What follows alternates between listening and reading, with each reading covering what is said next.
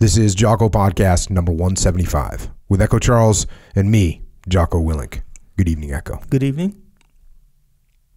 23 October 1942, 8th Army.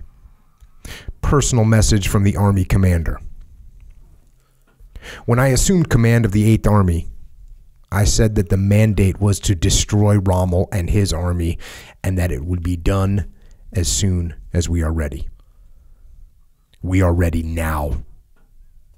The battle which is about to begin will be one of the decisive battles of history. It will be the turning point of the war. The eyes of the whole world will be on us, watching anxiously which way the battle will swing. We can give them their answer at once. It will swing our way. We have first class equipment, good tanks, good anti tank guns, plenty of artillery, and plenty of ammunition. And we are backed up by the finest air striking force in the world. All that is necessary is that each one of us, every officer and man, should enter this battle with the determination to see it through, to fight and to kill, and finally, to win. If we all do this, there can be only one result. Together, we will hit the enemy for six right out of North Africa. The sooner we win this battle, which will be the turning point of the war, the sooner we shall all get back home to our families. Therefore, let every officer and man enter the battle with a stout heart and the determination to do his duty as long as he has breath in his body. And let no man surrender so long as he is unwounded and can fight. Let us all pray that the Lord, mighty in battle, will give us victory. B. L. Montgomery, Lieutenant General, 8th Army. And that is a note written on the eve of the Battle of Alamein, which ended up being the turning point of the war in North Africa. And General Bernard Montgomery, commonly referred to as Monty, defeated the Desert Fox, Rommel, one of the most respected generals in all of history, really. And Monty was a actually a controversial figure. And I think he got more controversial the more famous he got. He fought in World War One. He was a soldier. He was gravely wounded by a sniper in the Battle of Ypres. He was shot in the lung. He was in such bad shape that they actually dug a grave for him. But somehow he pulled through. He recovered. He served the rest of the war as a staff officer. And he was actually very critical of the of the tactics and of the strategy and of the willingness of the leadership to accept such horrific and heinous levels of casualties. So he was critical of that.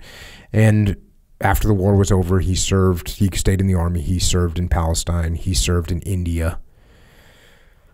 And then in 1939, of course, there was more war. And he was in command of the 3rd Division. He went to France. And he was actually pretty worried about going to France. He didn't feel super confident about it. And he returned home with the rest of the British forces that were driven off the continent um, from Dunkirk.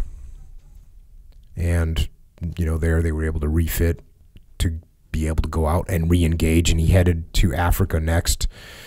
And the Eighth Army was pretty beat down at that point. When he showed up, though, he turned around their morale and made them believe that they could win and won the first major land victory of the war in the second battle of El Alamein.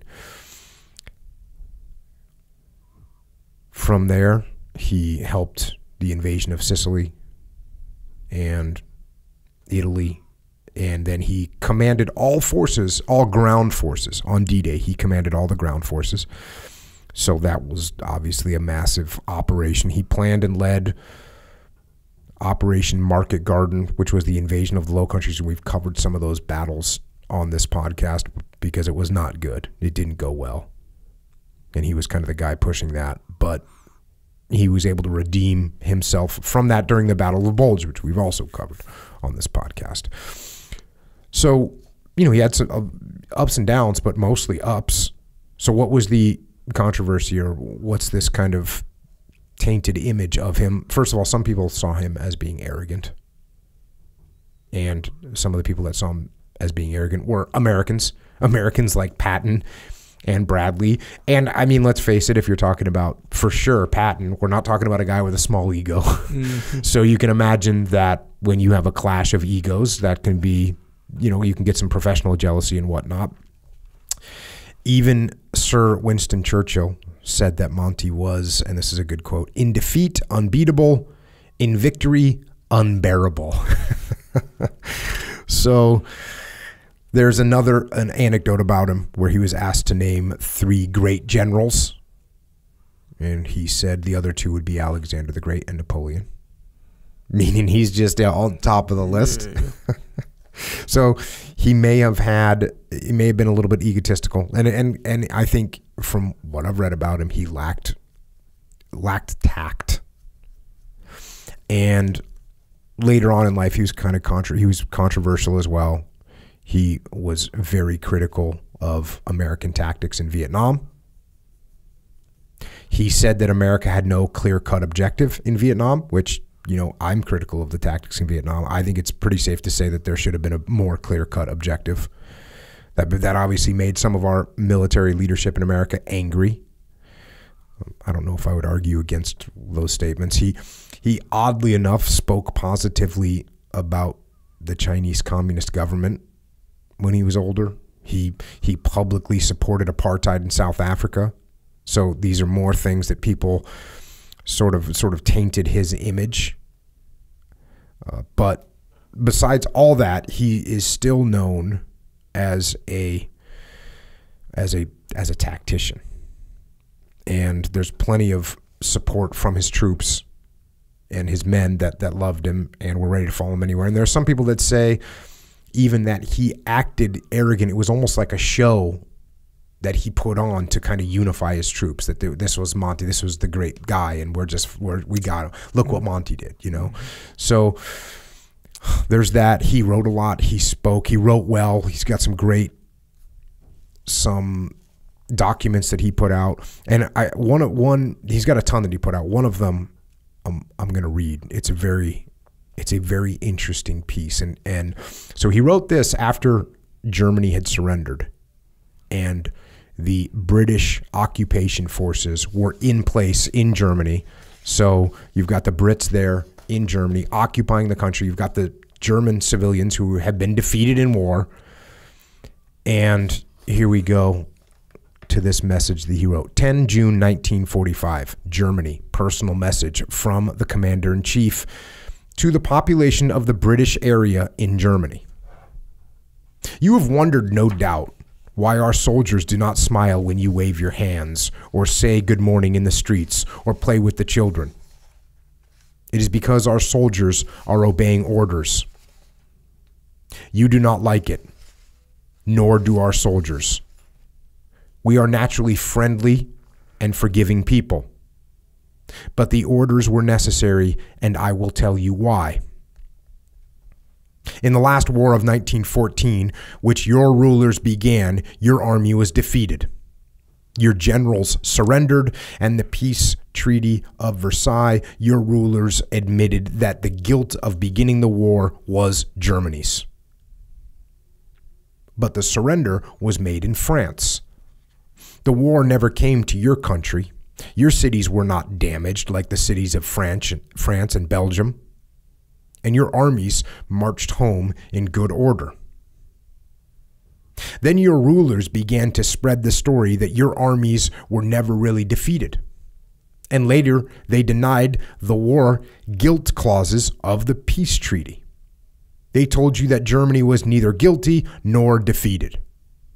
And because the war had not come to your country, Many of you believed it. and you cheered when your rulers began another war. Again, after years of waste and slaughter and misery, your armies have been defeated. This time, the Allies were determined that you should learn your lesson, not only that you have been defeated, which you must know by now, but that you, your nation, were again guilty of beginning the war. For if that is not made clear to you and your children, you may again allow yourselves to be deceived by your rulers and led into another war. During the war, your rulers would not let you know what the world was thinking of you. Many of you seemed to think that when our soldiers arrived, you could be friends with them at once, as if nothing much had happened. But too much has happened for that. Our soldiers have seen their comrades shot down, their homes in ruins, their wives and children hungry. They have seen terrible things in many countries where your rulers took the war. For those things, you will say you are not responsible. It was your rulers. But they were done by the German nation. Every nation is responsible for its rulers. And while they were successful, you cheered and laughed. That is why our soldiers do not smile at you. This we have ordered. This we have done to save yourselves, to save your children, to save the world from another war. It will not always be so. For we are Christian, forgiving people, and we like to smile and be friendly. Our object is to destroy the evil of the Nazi system. It is too soon to be sure that this has been done. You are to read this to your children if they are old enough and see that they understand. Tell them why it is that the British soldier does not smile. B.L. Montgomery, Field Marshal, Commander in Chief, British area. So, Obviously, that message was produced in German and in English and spread out amongst the population. I thought that was a pretty awesome outlook. And he also spoke and wrote a fair amount about leadership. And I think when you look at his writing and his speeches, you can see some of his some of his peculiarities some of his personality shines through sometimes. And I want to take a look at some of that, some of the things that he wrote. And the first piece is called Military Leadership. And it's actually from a speech that he gave at the University of St. Andrews 15 November 1945. It's like a transcript, or maybe it's his notes. I'm not sure which, but it's it's written as if he was reading it. So here we go. Let's go to this book Military Leadership. I've come here today to talk to you about military leadership, a subject such as this must in normal times seem somewhat remote from this quiet gray walled city by the sea. Today, I have to try and equate the definition of military leadership as I see it to the lessons of the past and to the experience of the present. I propose to limit myself in this talk to higher leadership, the command of armies or a group of armies, and not to consider the quality of leadership at lower levels. What I say about higher leadership may well have certain application to leadership of a brigade or a company or a section of men. There are, however, certain differences in leadership at lower levels, and I do not propose to take up your time by discussing these today. Now, you'll see as he goes into this, he covers up, he's talking about that all the time. I'm not sure even why he, he did that, but he talks about the, the, the entire chain of command throughout this speech. Military leadership is a subject which has always interested me. And during this war, I have had some opportunity to put my ideas to the test. I have found that if you aspire to lead soldiers, you must take a close study of human nature. For that is the raw material with which a commander has to achieve his end. If you neglect the human factor as a leader, you will fail. The personal relationship between a commander and his soldiers is and always has been one of the most potent single factors in making for success in war. If a commander has the complete confidence and trust of his men, there is nothing he cannot do. Nothing. If a commander loses the confidence of his men, he cannot succeed. That's a bold statement right there. That's a bold statement right there.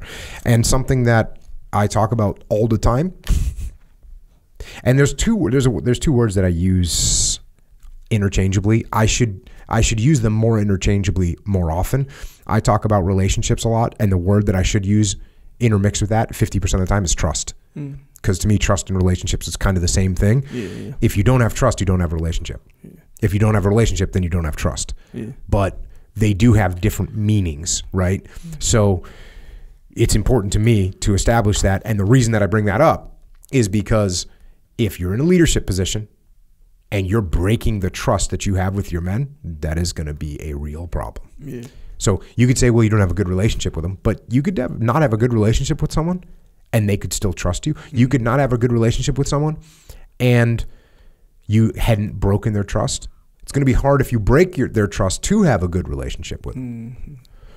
But the key factor here is trust and confidence of the men. Back to the book. Now let us consider on what a man's power to lead others is based. It is necessary first to define what is meant by leadership. And this is where this gets a little interesting. I suggest to you as the definition of the word leadership the will to dominate, together with the character which, which inspires confidence. The measure of a man's ability to lead, I think, is twofold. So, the first part of the definition of leadership in his mind is the will to dominate, which is which is which is strong. And you're going to see where he kind of counters that, and he talks about he, he talks about decentralized command. He talks about everything that, that I believe in. But, you know, I don't talk about, hey, as a leader, it's first and foremost that you have the will to dominate other humans, right? That's that's mm-hmm. not in fact, I think that's a kind of a negative quality. Hmm. Th- But that being said, if you have someone that doesn't mind not winning, not dominating, well then guess what? They're not going to put forth any effort. They're not going to make things happen. Like force of will i talk about that all the time. You you have to impose you have to have the force of will to make things happen. Sometimes you just have to make things happen. They're not going to happen by themselves. Anything that's anything that's going to come that's good in life it's not going to happen by itself. It's just not going to wake up and it's there like a, like an easter egg that's not happening No, yeah. no you got to go out and you got to make it happen Yeah. okay maybe you get an easter egg when you're six years old but Sure. once you're Yeah. 26 years old there's no easter eggs coming to you you got to make them Correct. Yeah. Back to the book. First, it lies in his will to dominate the men and events which surround him, the will to drive himself and his men to the limit of their powers for a specific purpose, and the refusal to allow anything to divert him from his aim. Again, you're going to see where that sounds so strong. It sounds unbalanced, right? Yeah. It sounds it sounds like he's outside the dichotomy of leadership. He's going too far in one direction. Yeah, he's yeah. being extreme. Like nothing, you're going to refuse to allow anything to divert you. Oh, okay, so what does that mean? That mean you get everyone killed? That's what they did in World War One. He didn't like that. Mm. But you're going to see where he balances out these statements later. Second, it lies in the strength of his character, whether good or evil, to inspire others to place their complete trust and confidence in him and his ability to lead them with success and to enthuse his men for the task in hand. This ability of a man to inspire confidence in others and to create enthusiasm is a spiritual quality. But it is not but it is well to remember that this quality need not necessarily be for good. The evil leader has equally the ability to inspire confidence in others, and in history the evil leader has often at any rate temporarily prevailed. and he counters that at the end too. There have been many with differing with differing types of characters character who have inspired men to follow them. I propose to choose three great captains of the past and examine briefly why these men were leaders and how they led their men and how as leaders they succeeded or failed. So he's going to go into a little case study, a couple pages here. I will first consider Moses. He was already old when he was called to lead the children of Israel out of the land of Egypt. His task was an immense one. He had first to inspire his people to cast off the yoke of the Egyptians. This was no easy matter. Israel had been living for about 400 years as slaves of the Egyptians. They had lived in the Nile Delta, a bad climate and one which tends to sap up energy and initiative. But they lived where food was plenteous, while all around were deserts which could barely support life. Moses must have had to overcome the most tremendous initial inertia to persuade Israel to launch out into those deserts with all the risks of famine, disease, and the necessity to fight. His power to inspire and dominate his fellow men must have been of a very high order. Now, see, that's where I just I don't look at that as domination of your fellow man. You're mm-hmm. I look I see the inspiring part, but I'm not looking at hey, we were looking to dominate. I, I see his angle, right? I see I see where he's I see where he's coming from. But and maybe that word, you know, words change, words morph morph over time. Maybe that word dominate that he's using, maybe maybe it had less of a sting to it then, f- you know, 50 years ago, possibly had a little less sting. Mm-hmm. 70 years, words change. Yeah. Words change over time. But that's what he's saying. But things were kind of hardcore too, right? Back then, you know, like long time ago, there just things in general were a little bit more blunt. Yeah. So maybe in the times of Moses, factor. I'm sure they were pretty You see what I'm blunt. And even Yeah. this time, yeah, yeah. Yeah, yeah. I don't know though. I, I'm not. I'm not 100 percent sure. I'm not 100 percent sure if he means the word dominate the way we think of it. The way I think of it. Apparently not. I mean, it seems like there's a little bit more to it. I guess. Well, when he counter, and you'll hear him counter. I guess that's what maybe makes me think maybe he means it a little bit less severe. Yeah. Maybe because he starts to talk about the the balance of this dichotomy. Because let's face it. Hey, okay, let me ask you this question. Here, I'll- this is going to make it real easy. Mm-hmm. If I was the type of person that was like, "Hey, I'm looking to dominate you," come with me into the desert where we're going to have to live where there's we're getting away from the Nile River and we're going out to this barren area where there's not a lot of food and I'm going to have a domineering personality and I'm going to be all over you every day. H- how enticing is that? Not very Not very. Now, if I was inspiring mm-hmm. and I said, "Listen, Echo, we're going to get out there, we're going to train, we're going to come back, we're going to get our revenge. It's going to take some time, but we're going to make it like that." That's different, right? Yeah. Yeah. So, Yeah. You know what? Now that I'm thinking of it, it would dominate. Like, my, what's the root word of y- y- dominate? you know what to it could be? Yeah, I should have studied the etymology before we got on this podcast. I apologize. You know what it could be though? Picture when you have a good leader that dominates the room, right? Right, right, yes. That's Yeah, a yeah. positive thing, right? sir. Oh, this guy Yeah. just get you. Yeah, you know, Echo came in for the meeting. He just dominated the room. He did great. Right. That's a positive thing. Yeah. So maybe he means it that way. Unfortunately, he talks about dominating the will of, right? He talks about dominating the men and events that surround him. Oh no, actually, he doesn't talk about dominating the will. So maybe that's what they mean. Maybe he Yeah. means just like this dominating No way. presence. Yeah. All right, going back to the book. Without a doubt, Moses realized that when he led Israel out of Egypt, they were useless as a fighting people. They'd been slaves for some 400 years. He therefore set to work to train them for the task and to forge the weapon which would conquer Canaan. It's interesting. He talks about the training of armies as forging weapons. Like you're hmm. forging this weapon. I think that's a pretty cool analogy. I believe that Moses intentionally kept Israel for 40 years in the desert for two generations in order to breed and train a fighting race capable of undertaking the task of conquest which lay at hand. And in that 40 years, he taught them gradually how to fight and conquer. He took meticulous care over their training. And it is most interesting to note his refusal ever to risk any failures into action. This is interesting, and he brings this up quite a bit. So Moses, Moses didn't take any risk where he thought he might fail. Hmm. We read of him soon after leaving Egypt, asking if he might lead Israel through the country of another people. On being refused permission, he marches round by another way. But later, when the same situation arises, when Israel is better trained to fight, he leads his people straight through the middle of that country and destroys his enemy utterly. He was a good judge of what Israel was capable of doing and what Israel was not capable of doing. And as a result, he had an unbroken record of military successes. He had the wisdom and the insight into human nature to realize that the best way for a leader to gain confidence of his soldiers is to give them victories. If a commander gives his soldiers victories, they will follow him anywhere. But Moses was not permitted to see the fruits of his own work. He sinned by claiming as his own powers which did not belong to him, and for this sin of presumption, he was forced to hand over to Joshua the final conquest of Canaan, for which he had so well trained the children of Israel. So there he wraps up on on Moses. I think that, and he kind of refers back to this point later in the in this book, is the fact that you got to be you know you got to you got to push for victory, right? You got to push for victory, and this is it's almost like risk aversion, right? Which I'm not a fan of, and you can't be risk averse, mm. but you got to be calculated. Mm-hmm.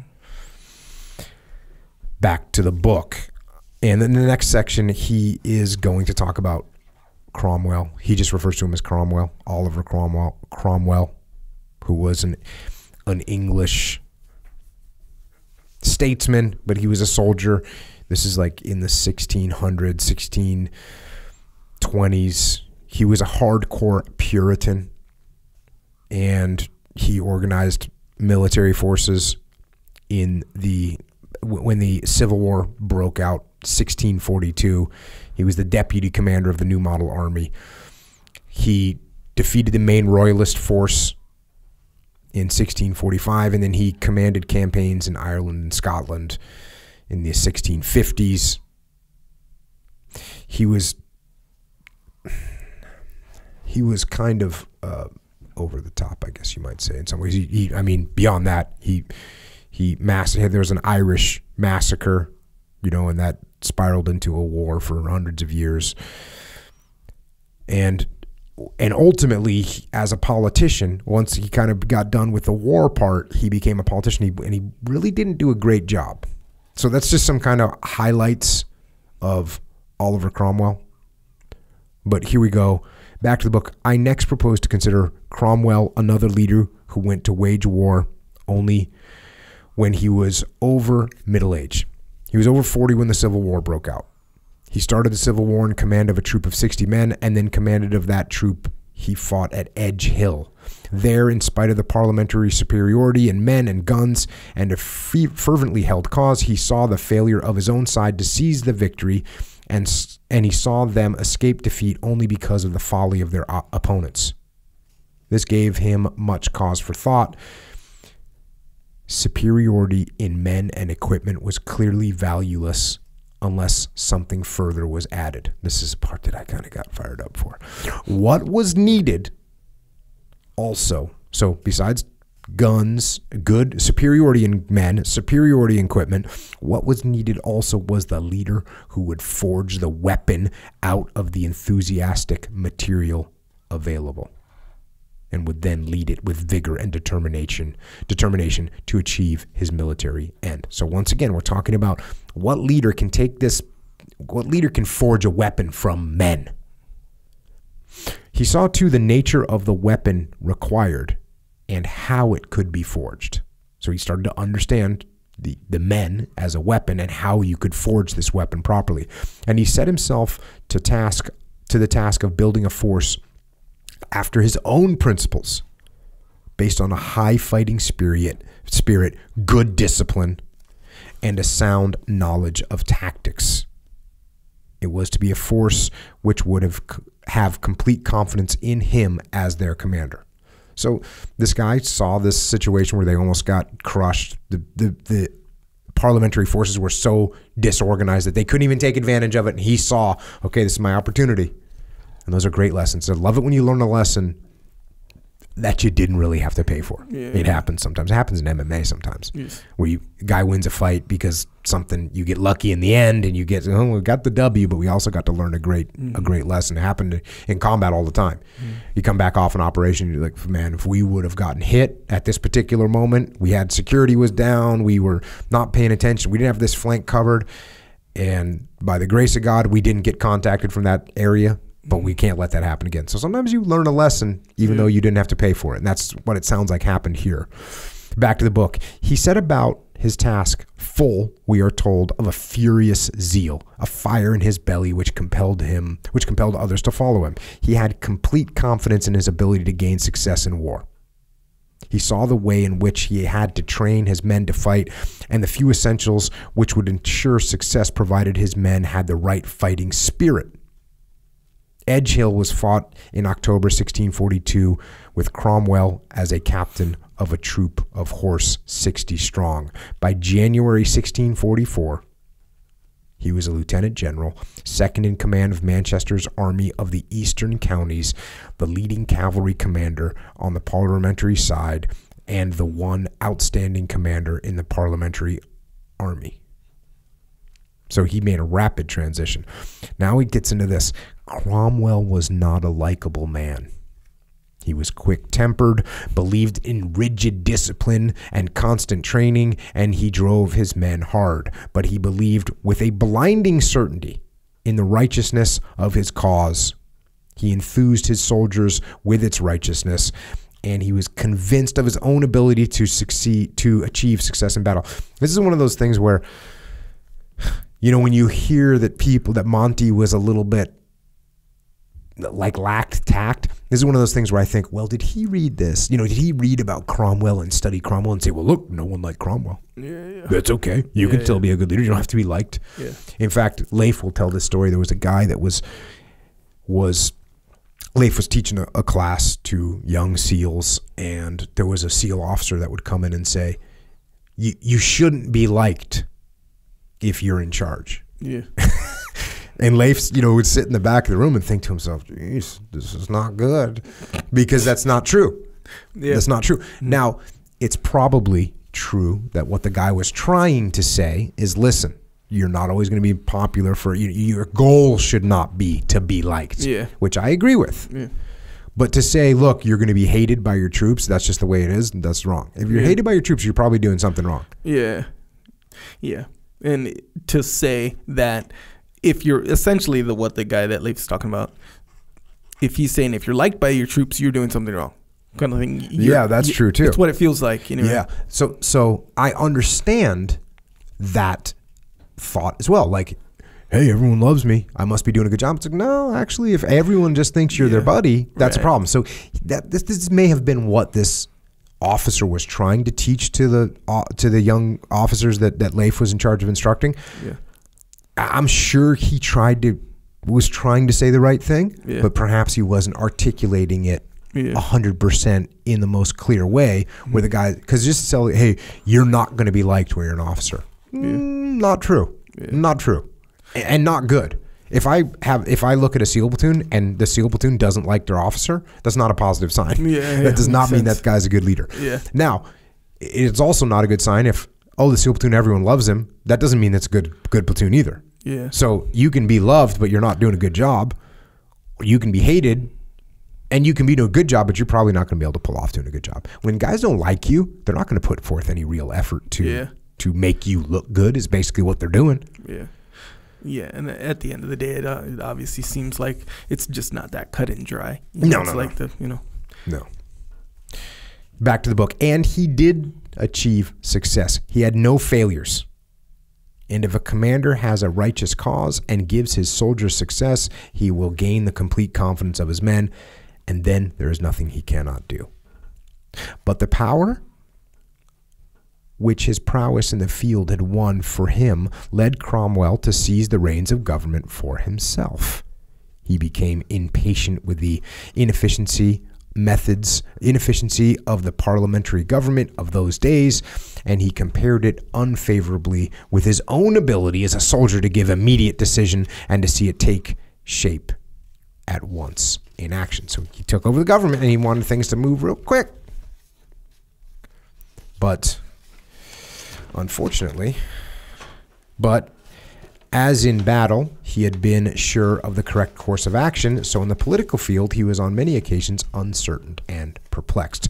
During the period in which he ruled England, he tried out five different systems of government and all failed.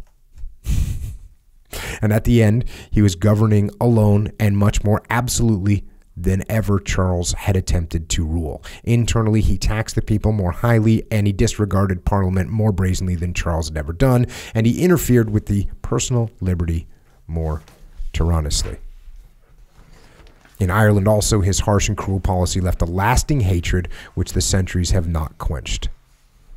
But his rule was not wholly unproductive. He made the fighting ser- so he did accomplish one thing. He made the fighting services the finest in the world, and he gained for England a voice in the affairs of Europe, such as England had never had before. So he was not a good governmental leader. Many of his triumphs abroad were transient and, ubs- andub- unsubstantial, and much that he attempted at home disappeared when he died. But his work for the Navy and its initial steps toward the creation of an empire planted a foundation from which much has grown. So he had a good impact on the military, but his governmental his governmental leading abilities weren't all that strong. The third great captain I suppose to I propose to consider is Napoleon. A leader driven by selfish and evil ambition. That's interesting. And not like the other two, in pursuit of a great ideal. Unlike the other two, he was a soldier by profession. Trained from his youth in the profession of arms, even as a very young boy in a military academy, he was clearly a leader. He wished to dominate, and he did dominate his fellow men. there it is. That one sounds a little stronger. That sounds a little bit more like what I think of dominate. Mm.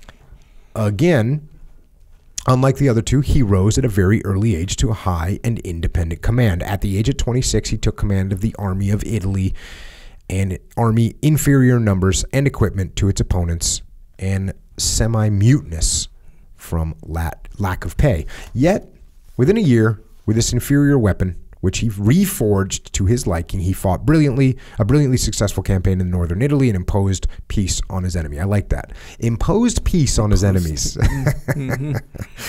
From the moment of his arrival with his army, he dominated his troops, both generals and soldiers, and inspired them with confidence in his ability to give them success. Of that ability, he himself had never any doubt. And in his own self confidence lay much of his power to inspire confidence in others. Behind this dominating self confidence, however, lay Napoleon's ability to see in any military problem the few essentials on which success would depend. He had the great power to simplify any problem and to see what details were important and which were unimportant. There you go. That's prioritize and execute, and it's simple, both in one big rule, right? You got to know what's important, you got to prioritize the important things, and you got to keep everything simple. I got a I got an email from Sarah Armstrong Sure. talking about podcast 174, trying to be a 5 Mm-hmm. trying to be a 5 in all categories. Mm-hmm. And she basically emailed me and said, Hey, heads up. I used to try and be a 5 in every category, even in categories that didn't matter. Mm-hmm. So that's, you know, give people a heads up. And I was like, Well, yeah, I mean, I've talked about, I've talked about that. I talk about it with clients all the time, but I talk about it on the podcast as well. When specifically, I talked about it saying, I don't know if you remember this example. I said, a black belt in jujitsu, Mm-hmm. like they don't care when you're grabbing their sleeve and you're getting all crazy. They don't care. That doesn't matter. Yeah. If you're a white belt, someone grabs your sleeve, you're freaking out. Yep. But if you're if you're a black belt, it's like okay. If you're a good leader and there's some some some issue that guys are complaining about, it's no factor. You don't care. Mm-hmm. And then there's some issues that come up and you go, okay, that's important. I need to address that. Yeah. So this is what he had the ability to do: is figure what is essential and what is not. Yeah. Yeah, and that's that can be kind of a tricky one because you know some some things are super small, super small, but at the end of the day, they might be kind of important. Yes. You know, like you can sort of predict. You're like, hey, that's small, sure, For but sure. hey, I could see that like continuing and growing. You know, For sure. Some things are and like that. sometimes all you have to do is monitor it to Yeah. make sure it doesn't grow. yeah, Sometimes you have to put it in check, for sure. Sometimes you have to destroy something, Yeah. remove it, kill it. yeah, sometimes you can't worry about it because it's not important. Yeah. So you got to figure which one of those out. like if your employee say you're a boss your employee comes in one minute late let's say he comes in on time every single time mm-hmm. like but right on he has to get there at six he Yeah. gets there at six on the dot every single day Yep. and then like one week on monday comes in at 601 mm-hmm. is that a big problem One day? No, it's not a problem. You you might want to throw a little something at him. Right, it's Just something. a little something. it's not nothing yeah Just so a little something. That's what like- you know. You might even want to say something like along this. That's probably what I'd say. Mhm. Uh, see what happens when you cut it so close every day. You're already a little. You you missed it by a minute, bro. exactly Right? right, That's just Yep. throw a little a little. Yeah. Just let them know you're watching. Yeah. Just like I said, like some things they're teeny, but, But they're am I going to give a dude? Am I going to give a dude a written counseling because they were one minute late? No, Right. Because now the guy's looking for a different job somewhere because he doesn't want to work for me. Yeah, yeah. You spaz out Yeah. on him, but at the same time, he's at six oh one. He's like, cool. Next day he oh comes in at six o'clock. We'll say next day. Then the next Monday he comes in at six oh two. Oh two now. It's just one more minute, right? Got to put it in check. Yes, sir. You Just do. a little something. Same like some things they seem small, but you you take a broader view. Well- and you're like, hey, it's kind of important. Yeah, yeah. I mean, this is, goes back to the troops shaving in the Soviet troops stopping shaving. This is it. This is the slippery slope of a lack of discipline. Slippery Slip. Yeah. But I can tell you this if you're focused only on these little things, you might miss the big picture, which was Sarah's point. Yes. And I responded and I said, Hey, d- I totally agreed with her, talked about some of the, the black belt thing and then the boss thing. And then I was like, And by the way, because this is something I've talked about, the floor in my garage gym is not clean. Yeah. It, do- it gets a 2.0 on cleanliness Out of what? Five. out of five. Okay. Maybe even gets a one. I think one, man. Yeah, maybe gets a Because no, 2.0 no, is not no. bad. However, however, it gets like a 1.5 because it's not. It's it's not. It doesn't have actual dirt on it. Right. It's just, got. not spick and It's just got uh, chalk and sweat stains. yeah. dried up. Utility. Yeah, Not, not just- neglect, just but getting you know. used. Yeah, yeah. And I said it would take 20 minutes to a half an hour each day to keep that thing at a 5.0 inspection ready level. Because what you got to get in there is bas- basically got to power wash that thing daily. That's where you're at. Yeah. So I'm not power washing that thing daily. Why don't it? Why is it? Why is it not clean? Not important. Okay. Do I? I have. I actually have a vacuum in my garage that I hit it with. Sometimes I hit it every two three days. Yeah. That's a lot different than breaking out of than than pulling the mats out, power washing them in the alley, Yeah. and then bringing them back in. That's a. That's not even a half an hour. That's like a. That's a serious evolution Yeah. yeah. that's a serious evolution. So, is it worth being a 5.0 in mat cleanliness garage gym? The answer is no. Mm-hmm. The answer is no. It's not worth it. You need to lower that on the priority scale. Now, do I have big chunks of dirt and and dog hair piled up and debris? No. Mm. It's completely debris free Yep. but there are some sweat stains on it. There Yeah. has been there's there are the remnants of getting after it. Sure. right, which is kind of conducive, can be. the way it is. Yeah. The way it so what's the standard then, generally speaking? Not just in application to your garage gym floor, to like everything. It's like little things. I mean, just a basic little little framework to establish. It depends on the thing. Yeah. So, but what is so you can go? So you go fundamentally then. So uh, what is it like? If it if it gets in the way, even if this much, even if this little millimeter gets in the way of the overall objective, then it's relevant, important. Well, no, then we just have to frame it so that we're not we we we frame it as a waste of time. Like how much effort are you going to put into that?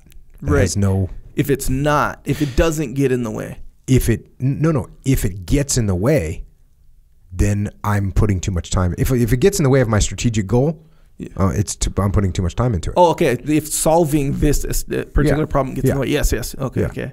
But uh, I meant the existing of a small little problem. If it's if it's get gets in the way, so like the Oh, if guy it gets in the way, then it's a problem. Right? I got to hundred percent. yeah. So if it does, like um, like the guy coming in late, right? Let's say on my garage floor there was chunks of rocks underneath the mats, yeah, and they made it uneven, yeah, and it was like slightly hazardous Right. for me to be moving around on it and it interrupted and my weights rolled around. That'd be a problem. Yes. It's it's affecting my strategic goal. Yes. Those mats are getting picked up, the rocks are getting moved, the floor is getting leveled, and we're good to go. Yeah. On the on the s- levelness, my mats get a 5-0. They're Yeah. perfectly flat. Yep. They're good to go. Yes, sir. They do not interfere at all. But they got some getting after it stains on them. Yep. There it is. Boom. Okay, going back to the book, having grasped the essentials of the problem and having inspired his soldiers with confidence in himself and with high morale, he knew he could not fail. Napoleon, however, was always as much a politician as a soldier. He had a great love of intrigue and of diplomatic bargaining, and his contempt for his fellow men and his passion to dominate them and events led him to aspire to greater things. From the time he became first consul, political rather than military factors influenced his decisions, and his failure to reconcile his political aspirations with what was militarily possible finally led him to the disasters of Moscow and the peninsula, from which no recovery was possible. He started playing that political game started making his military decisions based on what he wanted to happen politically. Now, what did these three men, Moses, Cromwell, and Napoleon, have in common without which they would have not achieved success? The most outstanding similarity was that they dominated their fellow men. They were all supremely confident that they could and would do what they set out to do. It was quite simple to them, quite easy, and success was absolutely certain. This certainty gave them each the power to inspire others to follow blindly and to the limit of their strength, and this inspiration and power to enthuse others immeasurably increased the power of their forces to achieve whatever was asked of them. That's called confidence right there. That's what that is. Pure confidence. Isn't it isn't it interesting when you see someone that's ultra confident? And Yeah, like not no, they're not even overflowing into ego, but they're just really, really confident. Yeah. And and pe- people follow them. Yeah. People will will be like, okay, I'm on board. This this this person's in the game. They believe it. I'm, I'm believe. I believe it too. Yeah. you know, Mm-hmm. I've seen situations where people are so confident that people are following them even though they're wrong. Hmm. You know, you get you you would get that occasionally with a with a SEAL platoon. You get some experienced guy that was super confident, and he w- actually wasn't that good or didn't really understand tactics too well. And he'd say, "No, this is what we're doing. Yeah, you know, so I've done this a million times. That's that's all. By the way, that's a red flag What? Uh, yeah. when somebody when somebody counts on their number of times or their experience Mm-hmm. that's the way we've always done it i've done this a million times that's a red flag the reason that they're using those statements is because they don't have an actual answer so when one of the new guys says hey hey boss i'm, I'm not really sure why we why are we assaulting you know through the target from this area over here wouldn't it make more sense to do and he goes oh look i've done this a million times this is how we're doing it Yeah, you yeah. just think yourself oh, so you don't have an actual answer Yeah. you don't have an answer as to why you're just you're just throwing that out there Yeah. that's the easiest thing for you to do. So if you ever find yourself saying, because this is how we've always done it, or look, I've been doing this for 28 years. Yeah, yeah. And you don't I have a know. better. I, no, you know that's you don't have a good answer. You're wrong. That could work against you to be honest with you. Yeah, I've been doing this for 28 years and then like that oh. day the person figures out like a way better way of doing it. You're like, "Dang, bro, you've been wasting your time for 28 years Yeah. doing that?" Yeah, it could definitely work out bad. It could work out bad because you're not listening to anyone else. You're not taking input, and then mm. you end up making a bad decision. From what did these men get their supreme confidence in their ability to achieve their purpose in battle? I think they got it from their ability to see their problem in its simplest form. Amen. I totally agree with that. To see the few essentials necessary to the successful solution of the problem and to see how those few essentials could be achieved. This is why. So I, I I'm always talking about qualities of leadership, the ability to simplify. I'm sure you've heard me mm-hmm. say this a thousand times. Mm-hmm. If you have the ability to simplify things, that's a great asset to have, and not everyone has it, or not everyone has the same level of it. Some people are good at it, some people not so much. Yeah. Some people just straight up complicate things. Oh yeah. Once they grasped the essentials of the problem, they never lost sight of them and never allowed a mass of detail to submerge what was essential to success. Boom. Don't get caught up in the little details of things. Don't let those things drown out what the real situation is. For all military problems are, in essence, simple. But the ability to simplify and to select out of the massive detail those things and only those things that are important is not always so easy. So, gotta keep things simple. Each of these men had the power to dominate other men's spirits, to inspire their enthusiasm, and to convince them of their own ability to achieve what was asked of them. This moving of men's spirits, this power to enthuse, could only be done and was only done by their personal contact with their men. All my three examples were in close and frequent contact with their troops. They were well known, familiarly known to them, and took frequent opportunities of talking to their men. So again, this is where that the thing I, I, spoke of earlier, where it's like he kind of he, he kind of comes back on, hey, you got to be this dominating person, but he's talking about you got to get out there and talk to your troops. You got to be really, truly, personally known to them.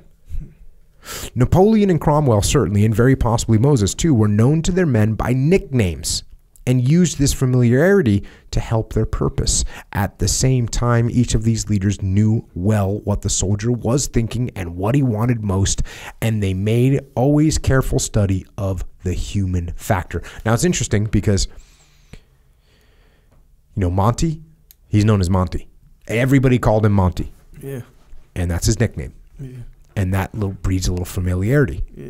And like I stole naming a unit, renaming a unit when you took it over. I stole that from David Hackworth. Yeah. I wonder if Crom, I wonder if Monty stole this nickname idea and kind of mm-hmm. gave himself that nickname, I right? wonder if Hackworth took it from Monty. Well, no, Hackworth. Well, actually, I guess Hackworth. Everyone just called Hack Hack. Hey, everyone called me Jocko. Yeah. Like everyone. Yeah. It's funny. Someone said everyone in the chain of command. The the people below me in the chain of command called me Jocko, and the people above me in the chain of command called me Jocko. Everyone called me Jocko. Yeah. So that that was kind of cool, but that was just like coincidence. I don't even know why. Yeah. But Hackworth, he didn't really. I don't think Hackworth gave himself a nickname. Yeah. And let's face it, Hackworth, other than Hackworth, and as as General Mukayama told us, he had the best nickname of all time, Mister Infantry. yeah. that is the coolest nickname ever. Is Hack considered a nickname? I think so. If it's f- short for your, you know? I think it is. Yeah. Yeah, Yeah. because there are certain names that have an official shortening of it. You know, like Richard and Rick, or Yeah. you know, Jonathan and Oh, John, and Robert and Bob. Bob. Yes, exactly. Okay. Bill and William and Bill. All that. Okay. So But Hack is not an official. right, it's unofficial. So it's sort of it, it goes into the realm of actual nickname, Yeah. not just shortening of the name. Yeah. Yeah, that's the But I, I think I we, we can research this. I'll, it's not coming to me off the top of my head, but I'm pretty sure everyone called Hack Hack. yeah Like up and down the chain of command. yeah. Although his soldiers back in the day probably called him Sir. That's more normal for Vietnam. Dang, how do you engineer a nickname though for yourself? No, you can't do that. that well, you can't work. Give your nickname to yourself. Mm-hmm. No, but you can. I'm sure there has to be a way to sort of engineer the environment. Well, you could say, "Hey, you I'm know? Hack. How's it going?" Right? Yeah, but that isn't that. I mean, if it, it would have to be established before that. If you just start like, if I just start saying, "Hey, I'm Dragon," No, boy, if you if you checked into a military unit or you, you and no one knew you, and you're like, "Hey, what's up? I'm I'm I'm Dragon Boy." yeah, but that would be no, that wouldn't work. No, but if you said, "Hey, my my name is you know Frag Mob or whatever," if you just made up you know your Sure. nickname, all guys call me that. Yeah, one one time I hucked a grenade and it, and it rolled back, and you know, yeah, there's a But place what where if it came that's from. not true though? You know, like that would that's a mean problem. if look, if you hooked a grenade in a thing and someone called you frag mob from then then on, then boom, someone gave you that nickname. Yeah. But you can't huck a grenade. It does whatever it is that it does, and be like, you know what? I should be called. You know, you can't really do that. no, you you are can't not do allowed that. to nickname yourself. No. So even if you introduce yourself, if no one knows you, introduce yourself. Okay, I'm Dragon Boy, but I just gave that name to myself today, and But and they find sure they'll call you Dragon Boy. Yeah. But if one person finds out, oh, you just gave yourself that nickname. Oh, yeah, they- they're gonna give you a be different like, nickname. oh Yeah, yeah, oh, quick. you're somebody else. Yes, sir. Real So quick. how do you do it though? How No, do you, you, don't. engineer? You don't. You just gotta let it. That's let what I think is important. What's important here is that the familiarity isn't a lie. The familiarity is real. Yes. That's the difference. I know how you do it. How? It, it's not ju- it's not hundred percent you. It's more allowing nicknames to be. You know how like you know how some people their name I don't know for just for example, um, hypothetical example like let's say it's like hey my name's um Jonathan, Mm-hmm. and then you know in a casual conversation like, hey John what's up John and then they'll be like hey it's like uh, no disrespect or nothing but it's Jonathan. Like Oh, they yeah, yeah, yeah. prefer the whole Yeah. thing. Um, maybe well, John's more of an official one, but like if Hackworth would have said, "Hey, it's it's Hackworth, it's not Hack," then he probably wouldn't have had the name Hack. That's true. So when someone busts out a nickname for you, you just gotta let it fly. Yeah. Well, I'll tell you in the teams when they bust out a nickname for you, if you protest it, it's gonna stick even. There you go. Even more So you could essentially, in theory, fake protest. actively protest. Exactly Yeah. right. And, and But hope- they'd hope- see right through that. I know, right? You gotta be do like, it all "Oh, you like getting called that? Fine. yeah, Yeah. we're gonna give you a different nickname now, uh, uh, yeah, yeah, yeah. You jackass." You gotta be quick. You gotta be sneaky with it, I guess. All right. Okay, back to the book. If a leader neglects the human factor, he will fail. No man can lead others if he does not know what they are thinking and feeling. So, again, we got Monty here who kind of talks like he's all aloof and everything, but he knows you got to know your people mm. and you got to understand people. And then he goes on a little shift here. No leader, however great, can can can long continue unless he wins victories. Without victories in battle, all else is useless. To what then is success in battle due? In his great study of Marlborough, Mr. Winston Churchill says very truly. And so here's a little quote from Winston Churchill, and this is interesting. He's talking about the Duke of Marlborough, who was uh, an, a, another guy in the 1600s that fought in the War of Spanish Succession. This guy never lost a battle, apparently. And and interesting, he was the Duke of Marlborough, but his actual name was John Churchill. And he is actually, I want to say, the great, great, maybe great grandfather of Winston Churchill. So this is Winston Churchill's bloodline. Sure. And this is what Winston Churchill says about his great, great, however many great grandfathers. And I think that's right. The success of a commander does not arise from following rules or models. So, It doesn't come from following rules or models. It consists in an absolutely new comprehension of the dominant facts of the situation at a time and all the forces at work. Every great operation of war is unique. What is wanted is a profound appreciation of the actual event. There is no surer road to disaster than to imitate imitate the plans of bygone heroes and to fit them to novel situations. So there you go. This ability to to absolutely comprehend this new situation and to not try and force, not try and force a a rule or a model to to work for you in a certain situation. Back to the book. This indeed is true. For in no war, for in war, no two situations are ever the same, and each situation must be tackled as a wholly new problem to which there will likely be a wholly new answer.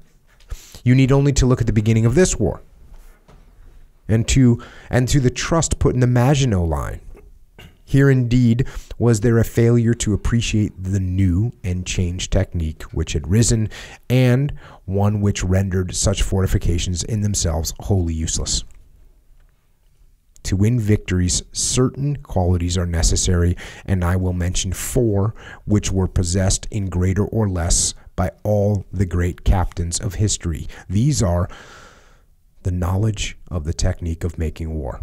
So that's interesting because Churchill just said, look, it's not using this previous knowledge. You got to be able to apply it. But at the same time, guess what? You got to have the knowledge of the technique of making war. Next, the ability to see clearly the few essentials that are important to success. Next, courage and mental robustness. And lastly, a well balanced judgment. He kind of goes through these in a little bit more detail now. The manner in which war is waged varies from age to age and with the advent of each new weapon. It is a constantly changing, constantly evolving thing. He who aspires to high command in war must thoroughly understand the main principles which will dictate the manner in which the battle of, the, of his age will be fought. He also must be constantly on the watch for new ideas or weapons which will affect those principles. The speed of change in military science during time of peace is often slow, and many have consequently allowed themselves to be lulled into false sense of security, which has been rudely shattered on the outbreak of war. So guess what? You got to have an open mind. And you got to pay attention. The knowledge of how to make war also implies the ability to train troops. Every great commander has himself had to forge his weapon for the task in front of him. Moses led the people of Israel for 40 years in the desert, teaching them how to fight, and he forged the weapon to conquer Canaan. So also Cromwell and Napoleon. They forged their own weapon for the specific task in hand, improvising and inventing as they went along so as to develop new tactics to deal with the new problems with which in their day they were faced. So, got to study war, you've got to understand how to train your troops. Continuing on, no man can be a great military leader unless he has the ability to cut through overlying difficulties and to see clearly the few essentials in any problem which with which he is faced. In any problem, there are never more than a few essentials which are vital to that problem. That's a pretty bold statement, mm-hmm. and it's also pretty true. Yeah. You get these big problems, guess what? There's only a few things that are truly essential. Now, as you solve the first couple essential ones, there's going to be the next essential problem. This is prioritize and execute. Yeah. And it's kind of simple too, right? And like simple, yes. Like, like they're both wrapped together yeah. in this thought. These must be grasped out of the mass of details and must never be lost sight of.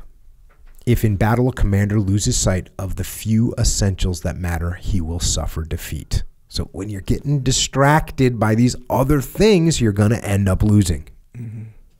But to see the essentials clearly, he must not himself get too immersed in detail.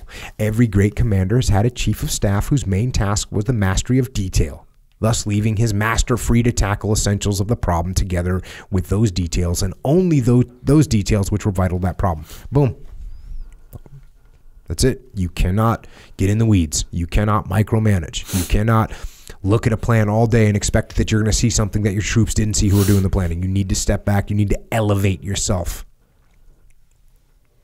For though there is much detail in which the for though there is much detail with which a commander cannot and must not bother himself, it is interesting to note that every great commander has always concerned himself with certain of the details of his problems. Napoleon and Wellington are two good cases in point. No man can rise to a high command who has not the quality of courage.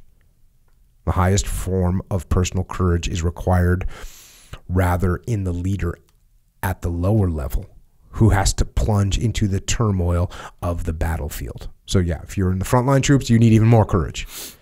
The leader at the higher levels has to develop his quality of courage into a mental robustness which can withstand the mental stress and strain with which he will be assailed. He must at all times he must be able at all times to take a dispassionate view of the good and bad fortune which will assail him. Read that one again.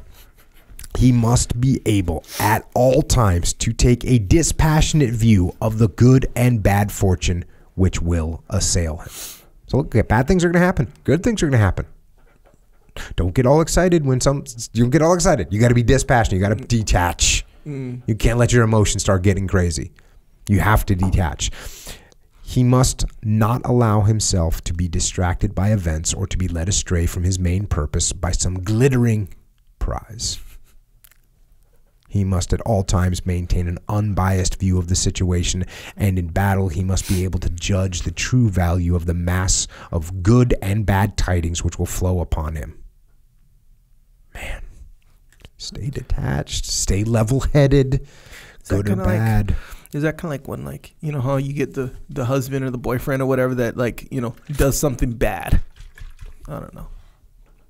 Flirts with a girl or Mhm. something like that. Girl, girlfriend's all mad, Mhm. and then so the guy goes and buys her like a necklace, you know, Mm. to say sorry. It's kind of like that, right? Where don't get all caught up in the glittery stuff because you know. No, that's not what this is like. this is like this.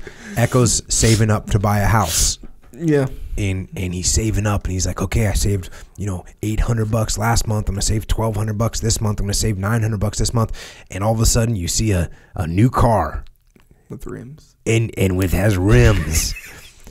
Sure. and you can get it, you can lease it. uh, yeah, yeah. And all you need to lease it is you know, four thousand dollars. Yeah. and you're like, you know what? I'm gonna go get that. That's the shiny new thing. They just took you off your main goal. Yeah. Yes. So this has nothing to do with flirting girlfriends Well, and buying necklaces, you know. bro. well, I think yours is a better example for sure. I think Yeah. so. Yours wasn't Yeah. even an example. You missed the point. Okay. There you Yeah. go. Uh, I'm trying to think of where it would be. Oh yeah, I mean, so if you're gonna talk like a girl that was saving for a house Yeah. and then she saw a cool necklace, that would have been a good example. Yeah. But the flirting girl with the distraction from the boyfriend, no, that's that's a whole Well, different situation. I mean, here's how I would try to connect the dots on that one. Oh, Where you know the girl's like, "Hey, her mission is to evaluate whether or not this is the good boyfriend, straight Mm-hmm. up." And then so the boyfriend he does some stuff that's fundamentally bad, cheats on her. I don't know, whatever. Mm-hmm. And and then you know, so she's sort of on that mission. She's sort of making the evaluation. Then boom, she gets distracted by the sparkly necklace. Boom, she goes back to him. Blah blah blah. See what I'm saying? no, Still no, bad. Oh, not not quite, right. not quite, bro. I mean, uh, good good effort, good effort. Uh, moving on. Every battle resolves itself into a tussle between the wills of t- the two opposing commanders. Unless he is mentally robust, a commander will not be able to force his will on his opponent. It is well for a commander to remember that no battle was ever lost until the commander thought it so. Hmm. No battle was ever lost until the commander thought it so. A commander must have a well balanced judgment. I'm getting to a little balance of the dichotomies here, both on the battle situation and in his dealings with his subordinates. This is straight up dichotomy of leadership. He must see, okay, now he must see the battle situation as constantly shifting interplay of forces, and he must instinctively know when to be rash and when to be cautious. Boom. Got to be balanced. He must weigh up the situation both at the moment and as it may develop in the future, and he must so fight his battle that the enemy's reactions cannot upset his plan. And although he is trying to force his will on his opponent, a commander must know when discretion is the better part of valor. His desire to dominate his opponent must not outweigh his judgment of the actual possibilities of the situation. Yes. You got to be aggressive, but you can't be foolhardy. That's what we're saying here. This is the dichotomy of leadership. His judgment must always be well balanced. And if it is so, and if he has good information on which to base it, he can so force the battle his way that the enemy will be forced to conform. He will, in fact, have wrested the initiative from the enemy. In his dealings with his subordinates, he will also require good ju- judgment and sound knowledge of human nature. He must choose his subordinates well, those with whom he is in frequent contact. His senior generals must know personally. He must know personally and well. He must be able to judge when to drive and when to persuade, when to be stern and when to give praise. For all men are different and each requires handling in a different way. So, right there, he just talked about the dichotomy leadership, right? When to drive and when to persuade when to be stern, when to be give praise. Got to balance those dichotomies. The three leaders whom I have concerned considered succeeded so long as they kept in their mind their clear military purpose and were not deflected from it by any other considerations. But there is always the danger that other and especially political considerations will be forced will force the hand of the soldier and lead him to some action which is militarily unwise. Many battles have been fought for political and not for military reasons, and these have been the graveyard of many a soldier's reputation. The soldier is the servant of the statesman and is therefore bound to be subject to political pressure. He must be strong enough to resist such pressure whenever it conflicts with his clear military purpose. Few statesmen will force the hand of the soldier if the soldier very bluntly says, If I fight as you wish me to fight, I shall lose the battle. If I fight in my own way and in my own time, I shall win the battle. So there you go. That's what you got to do. You got to call it like you see it. But the soldier must be prepared to be very blunt, and he must be prepared to stake his whole reputation on success if given adequate resources and a free hand. And he also must be prepared to be very firm and to refuse to be forced to do something which he considers is not capable of being done. So there you have it. If you don't think something can be done, it's your moral obligation to say no. Mm. And of course, you have to weigh that with the fact that if you don't do it, someone else might, and they might cause even more damage. Mm. So you have to weigh that that conundrum. Back to the book. In history, the military leader has frequently been tempted and has frequently succumbed to the temptation to aspire to political leadership. The whole training and experience of the soldier makes him less rather than more fitted to be a politician. So this is this is an interesting contrast. The soldier is trained to take direct action down certain well-defined lines and has in his hand a military machine which responds immediately and with precision to his touch. The politician is trained in subtlety, in debate, in weighing up the conflicting interests of his supporters, and usually has to compromise. The governmental machine is much less precise and exact than the military, and is not as rapid in action even in highly skilled political hands. Now, in war, if commander compromises on essentials, he fails. Furthermore, the time factor forces the commander in the field to adopt the best expedient in the time available, which is usually short.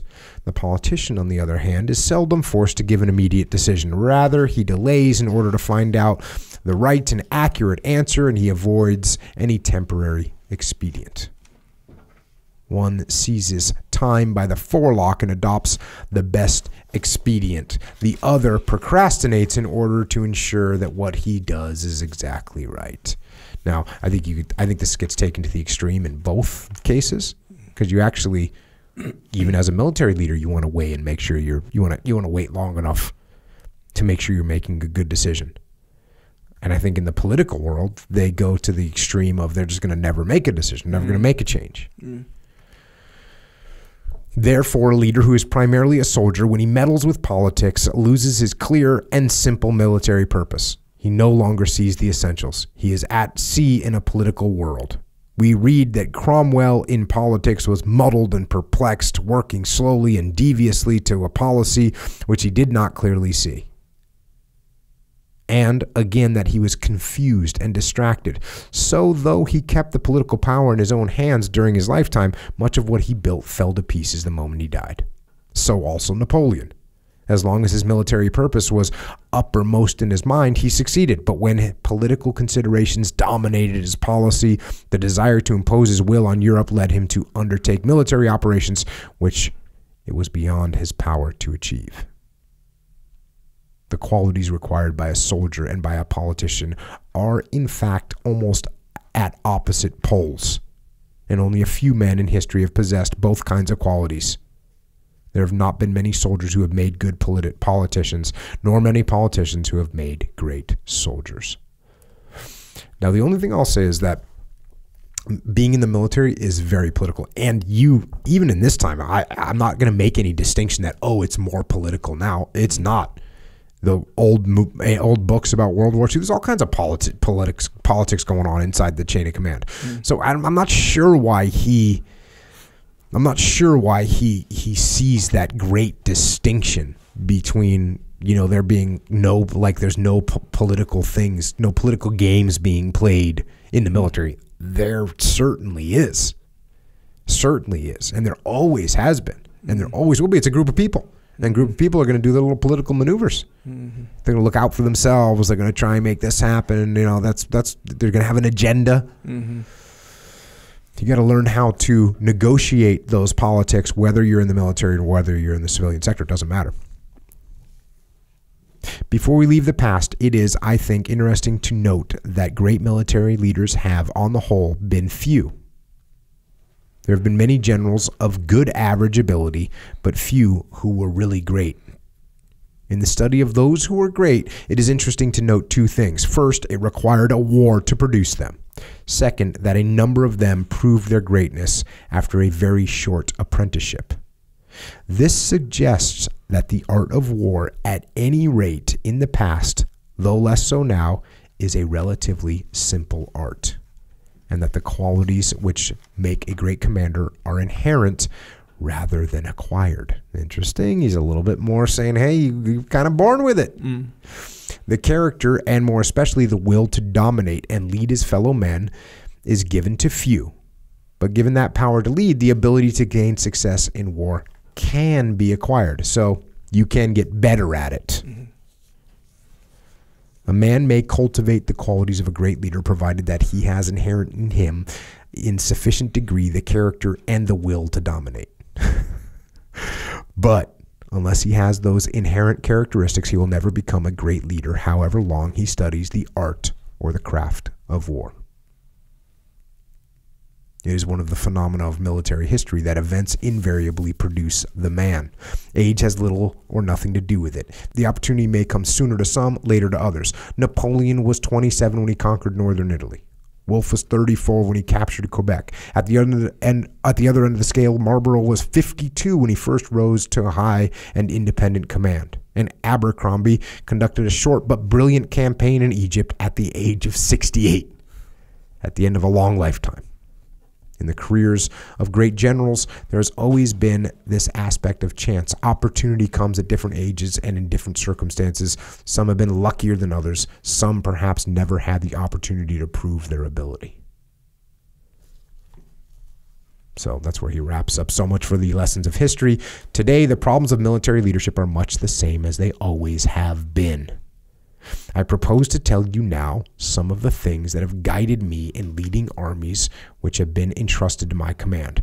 I would say first that a leader must very clearly know what he wants himself. He must see his objective clearly and must go all out for it. He must let everyone else know what he wants and what are the basic fundamentals of his policy. He must, in fact, give firm guidance and a clear lead. It will be necessary for him to create what I call atmosphere. And in that atmosphere, his subordinate commanders and troops will live and work. To do this, he will have to take a very firm grip on his military machine from the top. Only in this way will his force acquire balance and cohesion, and so develop its full fighting potential. History has many examples of a lack of grip being taken by a commander, with the result that he failed to develop the power of which his force was, cap- was capable, and so met disaster. So we've got this is Monty. You've got to take that firm grip. Mm -hmm. And again, it's very strange because he comes off so strong like that, but here we go. He's going to counter it right here. Having laid down the basic fundamentals of his policy, a commander must complete must place complete trust in his subordinates and must give them freedom to carry out that policy within the framework which he has laid down. So this is decentralized command. He must be prepared to decentralize and to trust his subordinates to use their own initiative on all matters of detail. Everyone listen to that. Don't worry about the details. The commander himself must stand back from the detail so he can see clearly the essentials of his problem and make sure that the correct action is being taken on those essentials. If ever a commander allows himself to become too greatly immersed in the unimportant details of any problem, he will fail to see the essentials clearly. Detach, take a step back, elevate yourself. It is obvious that he must be a good judge of men and a good chooser of subordinates. He must also have the drive to get things done. No commander will long remain in the first rank unless he achieves success. The biggest single factor for making success in war is morale.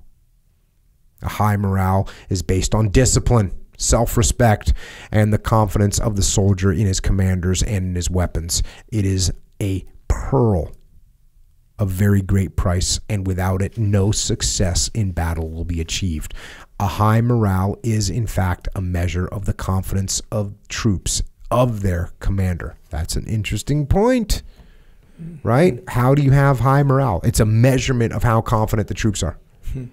So when the when when the troops are confident or the or the employees are confident in the boss, morale is high. Hmm. When they're not confident, morale is low. And by the way, with low morale, you're not winning. Continuing on, there is no book of rules which will help a commander to gain the complete trust and confidence of his men. Each commander will adopt his own methods and say the ones best suited to his own personality. Suffice it to say that he must be known, must be known personally to them, and that success in battle will produce quick results. All soldiers will follow a successful general. No commander, however, will gain the confidence of his troops unless he is known and well known to them. They must often see him and, if possible, hear him speak. A commander should take every opportunity of talking to his officers and men. It will repay him according to his worth. Got to get out there and talk to the troops. There are other factors also which have a big effect on morale. The home front and the battle on the front nowadays are, as ever, as never before, very closely linked. So you got to got to keep that morale up. You got to make sure everything's going good on the home front. It's, imagine what it's linked like now. I mean, this is he's talking about World War II. Mm-hmm. World War II. Hey, we're very closely linked because I can write a letter that's going to get to my wife nine weeks from now. Right now, we got brothers on Facebook Live nightly. Continuing on, just as success is a great stimulus to morale, so nothing lowers morale so quickly as failure. Therefore, there must be no failures. Great and lasting harm can be done to morale by undertaking operations for which the troops concerned are not ready or, or trained, and which they are likely to end in failure. I have therefore made it a rule to limit the scope of any operation to what can be achieved successfully. So, again, this sounds super risk averse, and that's that's that is. Hey, I'm not going to do anything that I don't know we can achieve it. Then again, how often do you want to be rolling the dice? Why not say, you know what? Well, let's give it another month. Let's train a little bit more. Why do we have to do this right now? Yeah. You know, and I certainly think that there's times when you have to take risk and you're going to do some things that maybe you don't know if you can get away with. Mm. And there can be times where you're forced into that position as well. Like you're yeah. being attacked and hey, we can I'm not sure if a flank is going to work, but we can either sit here and get attacked and get flanked by them or we can go and flank ourselves. Yeah. Like let's let's go make this happen. So I think we need to make sure we don't take that that comment to the extreme because that can be a bit much. But consider it, consider it deeply. And I think probably the reason why this this is probably one of those points where you know he said in the beginning of this he made the premise that um that hey this is a this is this is for army command right or at least divisional command. We're talking you're in charge of 10,000 people or more. So what he's saying, maybe, I guess it, it becomes more acceptable of a rule. You don't want to risk 10,000, you don't want to risk an entire army or an entire division on something that you may or may not be successful at, right? Mm. Maybe we need to reassess. If we're not sure we can make this happen, maybe we need to reassess if we're going to go forward or not. Another thing that today has a big effect on morale is the standard of medical care, which soldiers can expect. So you, you got that. And then we get to a commander must make a very close study of human nature. The raw material with which he has to deal are men. And it is important to remember that all men are different. What a commander makes of the human material at his disposal will depend entirely on himself. I have found that every division which has fought under my command has had a different characteristics. Each division was good at a different type of battle, and it is vital that the commander should gauge what type of battle is best at and make sure that each division is at the right point when required. So, even in the quote uniformity of the military, they have differences. They're human beings, and those those differences are reflected through whole units.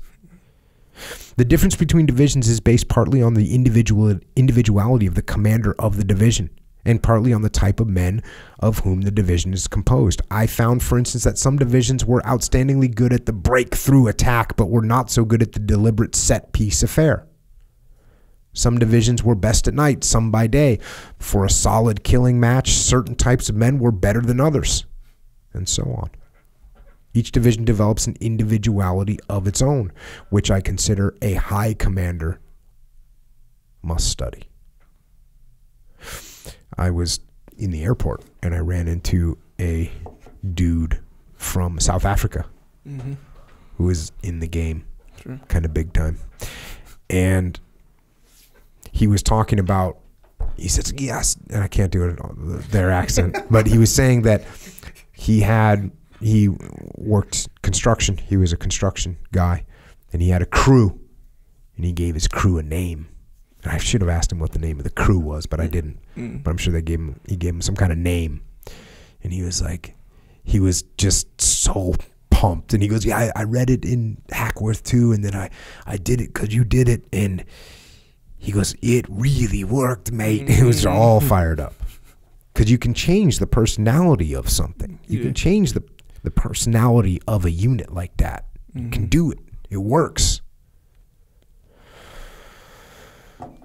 In the same way, all generals differ and must be selected for the job in hand. No two jobs, no two problems are ever the same, and the character of the job must be matched to that of the commander selected to undertake it.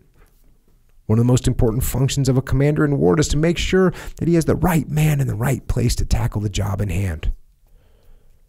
So think about that. When you're in charge of a team, when you're in charge of a business, one of the most important things that you do is put the right people in the right job. Some people are sensitive to that.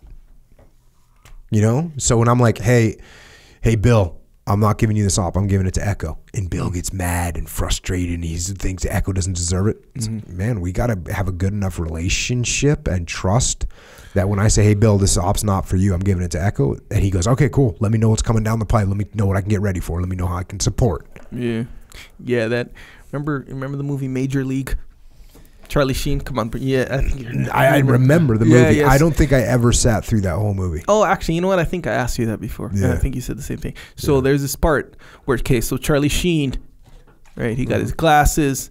He, oh yeah, that's what we were talking about last time. So last time, or as far as Major League goes, the movie Major League. Mm-hmm. So Charlie Sheen, he had all this crazy power and speed in his oh, fastball. But no uh, control. No control. Then they find out whatever he can't see that good. They give him some glasses. Boom, he, he brings it all together. They start winning all this stuff, right? So he's starting. The other guy who was starting before him, his name's Harris, older guy, mm-hmm. but you know has the basically the more consi- like he's consistent. He's not mm-hmm. like legit like Charlie Sheen, but he's consistent. You know, so they're about to play the fast forward. They're about to play the Yankees, mm-hmm. right, in the big game. Or the Is that called the World Series, or. Anyway, it's like this big deal. Uh-huh, And you know, a big deal. so the general manager Lou calls Charlie Sheen. What was his name in the movie? Charlie Sheen. Doesn't matter. Doesn't matter. Anyway, call, calls Charlie Sheen uh, to the back of the bus and he's like, "Hey, I'm gonna start Harris against the Yankees. He just has a better reputation against them, and you know, more more experience, whatever." And then Charlie Sheen was like, "Oh yeah, you know, whatever's best for the team," and he left, and it that was sort of it. So he was good with it. No, well, the movie goes on, and he's not good with it. He expressed himself like he was good with it, and he said the right things. But later on, he goes on like goes drinking by himself or something, Then he, then he winds up hooking up with like one of his teammates' wife, and that was all. but that's a whole nother okay. story, though. Yeah, we don't And, care know, about- Yeah, yeah. We don't actually care about any of this, but Yeah, yeah. we definitely don't care about that part. Rick Vaughn, that's his name. Wild Thing Rick Vaughn. There you go. But Shit. same deal though, right? You got to get right the right right guys. job. Yeah. Yes. And of course, You even- nailed it. Yeah, Nailed it, bro. Eventually, uh, Harris, you know, he does okay, you know, and then they bring out Rick Vaughn to fin- to close out the game, whatever, to win. So there you go, boom, All right. win-win. Back to the book. Back to the book. If a commander thinks that all men are the same and he treats the mass of human material accordingly, he will fail. The soldiers of today have different standards and require more enlightened handling than the soldiers of bygone days. This is again where he starts to. You realize that this guy, even though he tries to come across all hard, he's actually very thoughtful about understanding humans. Mm. Back to the book. They will no longer follow blindly and unquestionably to an unknown end. Today, therefore, a commander must ensure that his troops always know what they are being asked to do and how that fits in with the larger plan. I have always, in other words, they got to know why they're doing what they're doing. I have always insisted that before a battle, the essentials of the plan are known right through the chain of command and finally down to the rank and file. The troops must know how a commander is going to fight the battle and what part they are going to play in it. This must be explained to them by word of mouth, for that counts far more than the written word. And then, when the battle has been won and the troops see that the battle has gone as the commander said it would, their confidence in the high command will be very great. This confidence is beyond price. The problem with that statement is it puts pressure on you to stick to a plan. Just get like that. That makes you think, "Oh, I'm just gonna stick with it." Yeah. because I want everyone to think that it went the way I want I wanted it to go. No. Don't just stick with a plan. If it's not working, it's not working. Mm. Shift. A commander must watch carefully his own morale. A battle is a contest between the will of two opposing commanders. The one whose heart fails when the issue hangs in the balance will lose the battle. A commander, in fact, must throughout radiate confidence in his plan and operations, even though inwardly he may not be too sure of the outcome. so that's one of those other things, you know. People talk about transparency, Sure. right? Yeah. Transparency. Transparency. Yeah. Well, guess what? And it's like, oh yeah, there's a book. There's all kinds of book about transparency Yeah.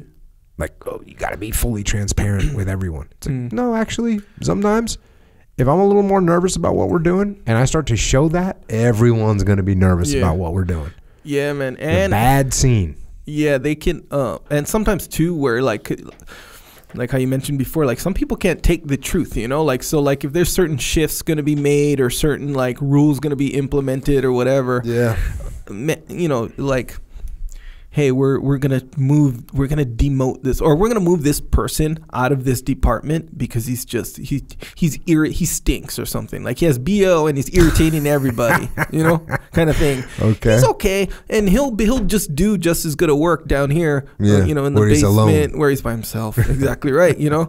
And it's like, hey, and then well, hey, we're gonna shift you over here, and, and he's gonna be like, cool, like why though? Like I'm down to do it, but why? Do you be transparent? Maybe, maybe Uh, not. But no, you no, run you the don't. well you uh, run the risk. i mean is what, I'm saying. well, the, the, the good thing to do would be like hey man hey bro let me ask you something if i had sure. a booger hanging out of my nose would you want would you would if you had a booger hanging out of your nose would you want me to tell you Well, everyone says yeah of course cool you stink Actually, You smell dang, that's, bad. That's good. hey Yeah, what about stinky gis on the mat Yeah. right somebody's got to let them know bro you gotta wash that thing Yes. you might need a new gi Yeah. You know, some people they they have this old ratty gi. The smell is embedded in those things. I had gis like that. Yeah. Where it's like you wash it and then you wash it and you take it out. You put it on for four minutes and you go, oh yeah, I gotta throw this thing away. This thing stinks. Yeah. Huh. Yeah, that's true. That that would be a better way to do it. but That you way, can't say, hey, why don't you move to the beginner class? go drill in no, the go drill in the corner over there. Go work with the, the, the grappling dummy over there. It's like, no, that's not cool. You need to tell a brother, hey man, You'll Yeah. be stinking. You, Yeah. you need to wash your gi. You Yes. wash your gi immediately. Yeah. So this is this is one of those things where if you if you need to talk to him, right? Even in that situation, you do need to tell the truth. Yeah. You know, you do need to say, "Hey, listen, man, I don't know what's up with your hygiene, but it needs some work." All right. So what if the company is taking this massive financial hit and layoffs are coming mm-hmm. straight up? Mm-hmm. You lay off one guy, you lay off two guys. Do you be transparent? Like, hey guys, we're taking a massive hit. We're laying off a bunch of people. Well, yeah, in that in that case, you have to say, "Hey, listen, this is what's going on. This is where we're at, and we're gonna do our best. And the best way we can do this is by buckling down hard and working hard. But right now, it's gonna be tight. Hmm. Going gonna go through a tight quarter right now. We had to let go of two guys. We're gonna try and maintain what we got, but I can't promise you anything. Right? There's- You got to be yes, yes. I'm gonna be truthful. So maybe it is better to be transparent. Most of the time, it is. Yeah. Most of the time, it is. What we it's in this situation. What we're talking about is if you lack confidence in what you're doing, Oh, and you start to reveal that to start people, letting it show. Yeah, yeah, then, gotcha. then that's not good. And you know, there's there's time now. Let's say let's say Echo. Let's say I didn't think you were cognitively capable of doing a job at the next level. Mm-hmm. I might not necessarily tell you that because that's something that you can't necessarily change. You can't go home, take a shower, and get smarter, right? It doesn't, Yeah, doesn't work that way. No, sir, Like you can't doesn't. you can't put on uh, deodorant and now you're smarter. That doesn't work. Yeah. It's it, be- smelling bad is not a, is not necessarily a bad problem because it's something that can be fixed. Yeah. But if you if you aren't smart enough, well then we have a we have a situation. You can't really. I mean, you can study, you can work, but you're not going to get smarter Yeah. right?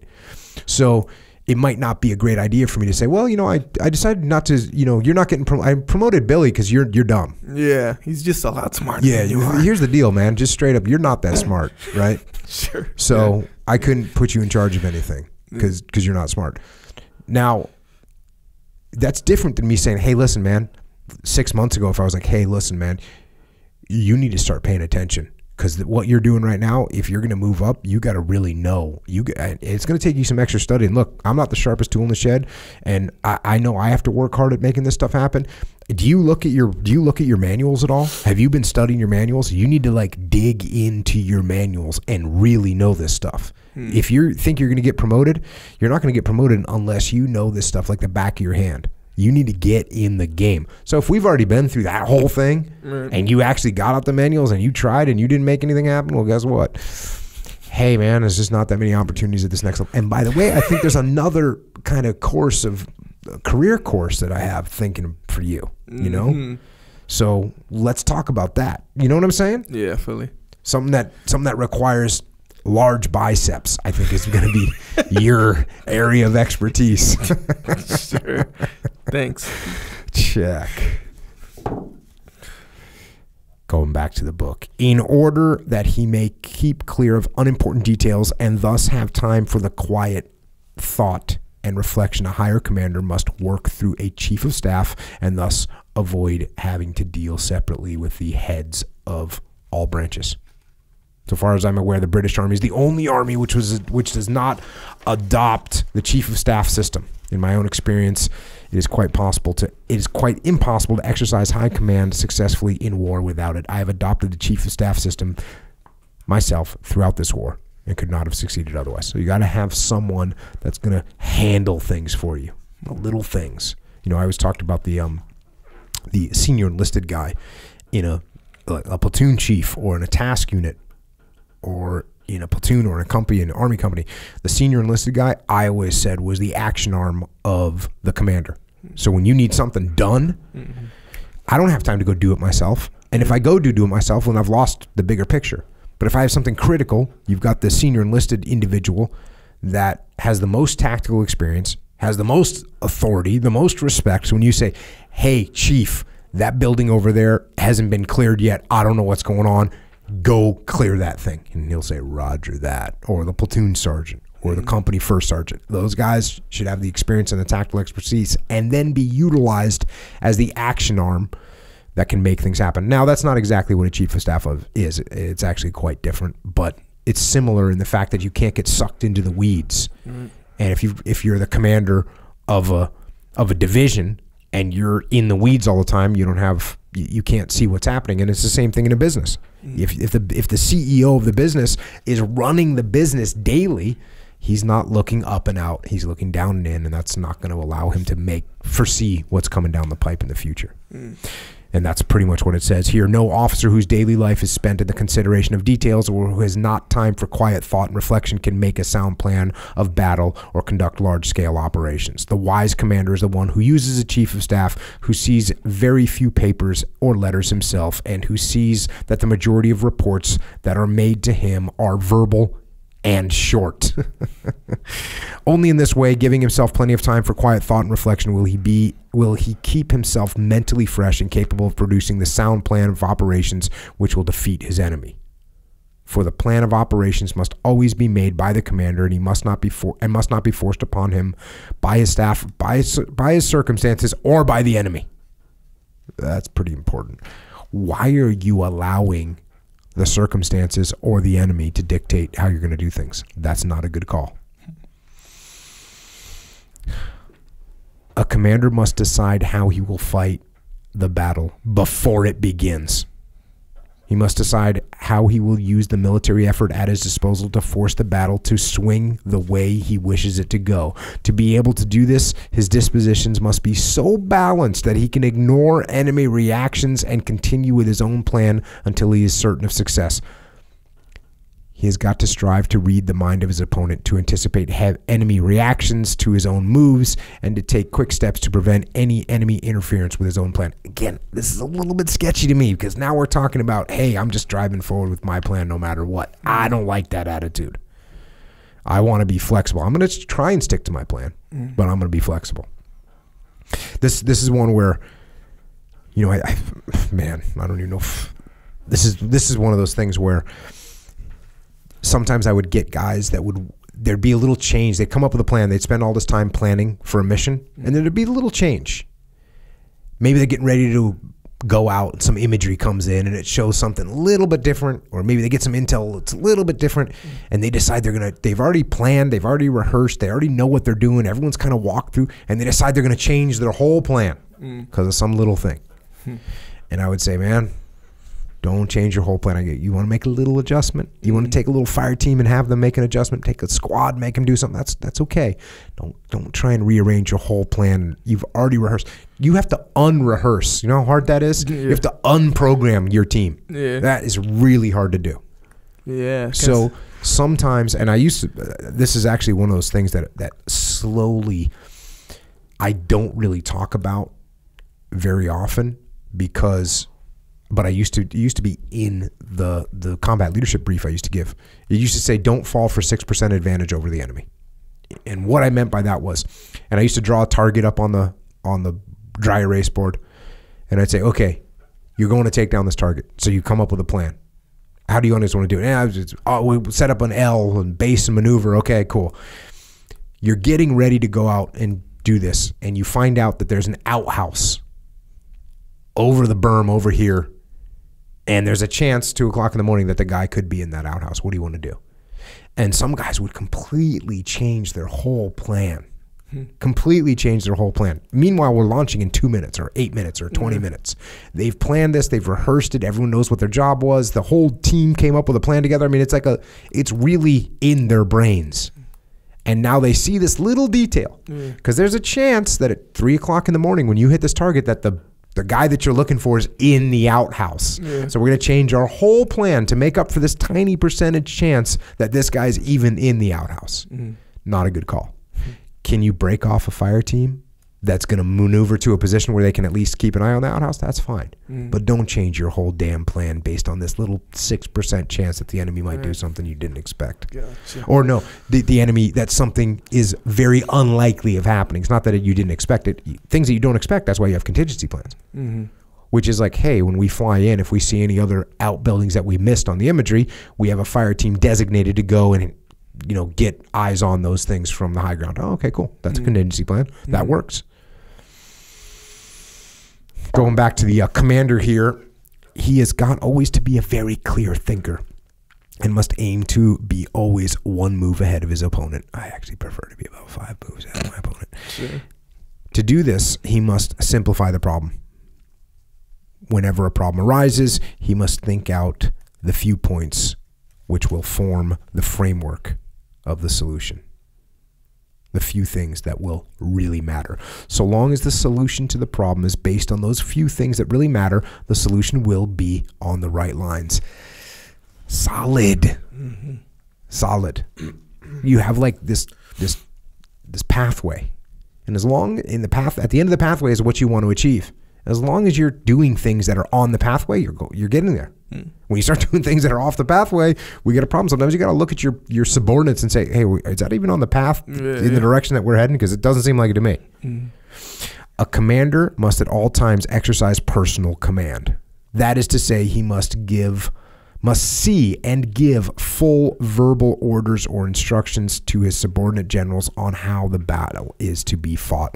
Operational command in the field must be direct and personal. No written order can ever be the equivalent of a direct verbal command. Interesting. And I've, my standard is I do both. Hmm. I do both. I say, hey, Echo, here's what we're doing. Hey, do you understand this? Do you got any questions? Cool. And I send you a, a message that says, hey, Echo, this is what we talked about. This is what you're doing, making sure you understand. Mm. So if I can, I'm going to do both. If you can only do one, yes, verbal is better. Most of the time. A commander must therefore understand how to give verbal orders to his subordinates. No two generals are the same. Each will require different treatment. Each will react differently. By exercising personal command, a commander can exert a far greater and more exact influence on the battle, and the confidence which will grow up between the commander and his generals will be of great value. The whole chain of command can thus and only thus be built into a united team whose strength is based on mutual confidence and understanding. Relationships. That's all relationships, is what he's talking about right there. Mm. When the whole army is built into one great team, united in working all out for a common purpose, the result is terrific. Success in war is due to good teamwork by all members of the fighting forces and to the correct use which is made of all members by the team of the team by the commander and his staff. But failure in war is always due to one of two causes to faulty command or to bad staff work, and sometimes to both. I can think of no instance where the failure has been due to a failure of the fighting man. The British fighting man will always do what is asked of him. But you must make sure that he understands what he is asked to do and also that it is within his capacity to do it. If your team is not doing what it is you want them to do, the first person you should check is yourself. If you're giving people complex orders that they don't understand, there's no possible way that they can execute those plans. And here's how he closes this out. Finally, I do not believe that today a commander can inspire great armies or single units or even individual men and lead them to achieve great victories unless he has a proper sense of religious truth. And he must be prepared to acknowledge it and to lead his troops in the light of that truth. He must always keep his finger on the spiritual pulse of his army and he must be very sure that the spiritual purpose which inspires them is right and true and is clearly expounded to one and all. Unless he does this, he can expect no lasting success. So you gotta believe in what you're doing. For all leadership, I believe, is based on the spiritual quality, the power to inspire others to follow. And this spiritual quality may be for good or may be for evil. In many cases, this quality has been devoted toward personal ends and was partly or wholly evil. And whenever this was so, in the end, it failed. For leadership which is evil, while it may temporarily succeed, always carries within it the seeds of its own destruction.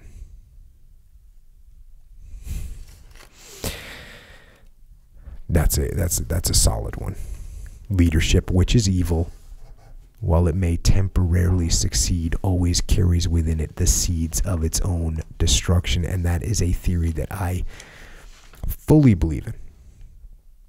And I mean, I believe in it on that level,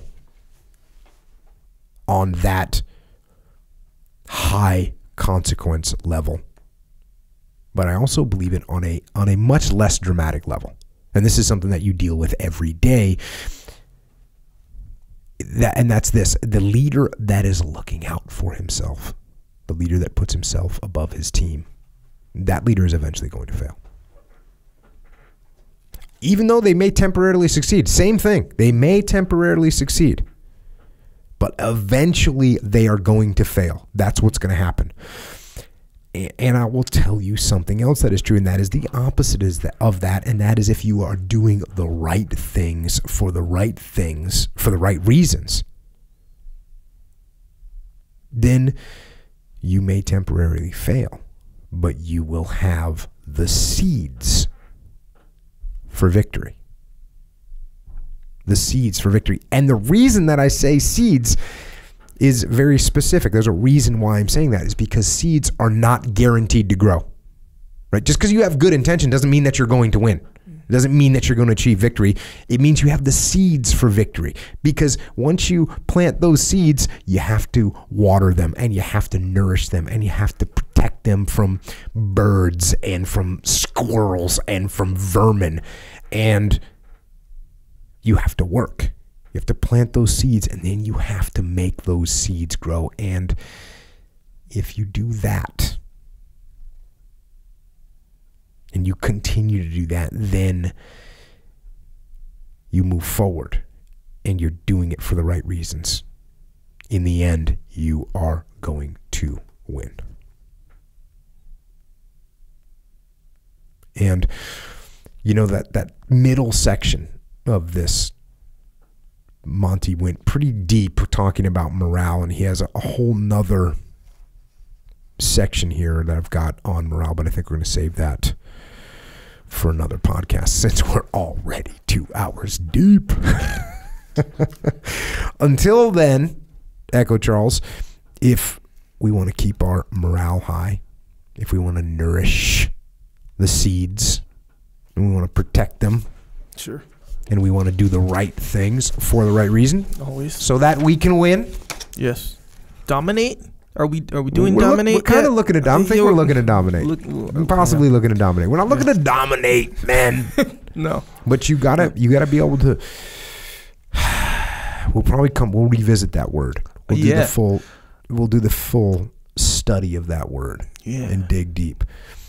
At a minimum, it means hey, we're gonna dominate. We're, I'm gonna. Hey, this guy dominates the room in a positive way. Yeah. At the extreme, it's like this guy just has a dominant personality. The problem is, how often do you see a person with a dominant per- personality that rubs everyone the wrong way? Happens all the time. Dominant. Like domineering. Yeah, this guy's got a dominate. No one, no one wants him on the team. Yeah. because you can't get a word in edgewise. That's why I question the use of this word. Yeah. Now, that being said, and I can see this, Uh-huh. I can see this. Just because someone has the will to dominate and it's strong doesn't mean that they sit there and rub everyone the wrong way. Because Right. if they really had the will to dominate, what they would do is back off Yeah. and allow others to step up and allow others to have their say and allow others to try and lead and to actually lead. Yeah. If they were really going to play the game, they might have the strongest will to dominate, but they don't act that way because they realize that that's counterproductive to actually dominating. Yeah. You look like you're confused. I mean, yeah, no, I- yeah. I mean, I don't know So so, much check that it I'm out. confused, but the, I think that if, just, I feel like there's just a there's a more general, broad use or meaning for that word. That's what I think. So I, I you know. think you're right. That being said, it, it could also be if you have somebody that has a strong, incredibly powerful will to dominate, but they realize that that is abrasive and it is not the best way to actually win in a situation, they will modulate and they will tamper that will to dominate Yeah. so that it best serves the accomplishment of the mission and therefore best serves their domination. Yeah, and I, I dig it. You know, it just does feel at this at this point right now. It feels like that might be kind of a reach. It's like that um, thing that I talked about at the muster of of what is what is leadership. And and I talk about how like leadership is winning at all costs. Yeah. And there's been some people that say, "Well, I don't know if I, winning at all costs seems like a bad attitude." Right. But the whole because you put a clip like that for an advertisement for the muster in a little muster clip. Sure. You put me going, leadership is winning at all cost, right? And there was Sure. someone that commented commented on our on the Echelon Front Extreme Ownership Facebook private group Mm-hmm. that you know I don't know if I like this. This is- seems a little bit that doesn't seem like a good attitude. Mm-hmm. And you know I replied that hey, you have to hear the whole thing. That's Yeah. only that's only uh, a Few few lines, seconds yeah. because what it goes on to say is if you really want to win, mm.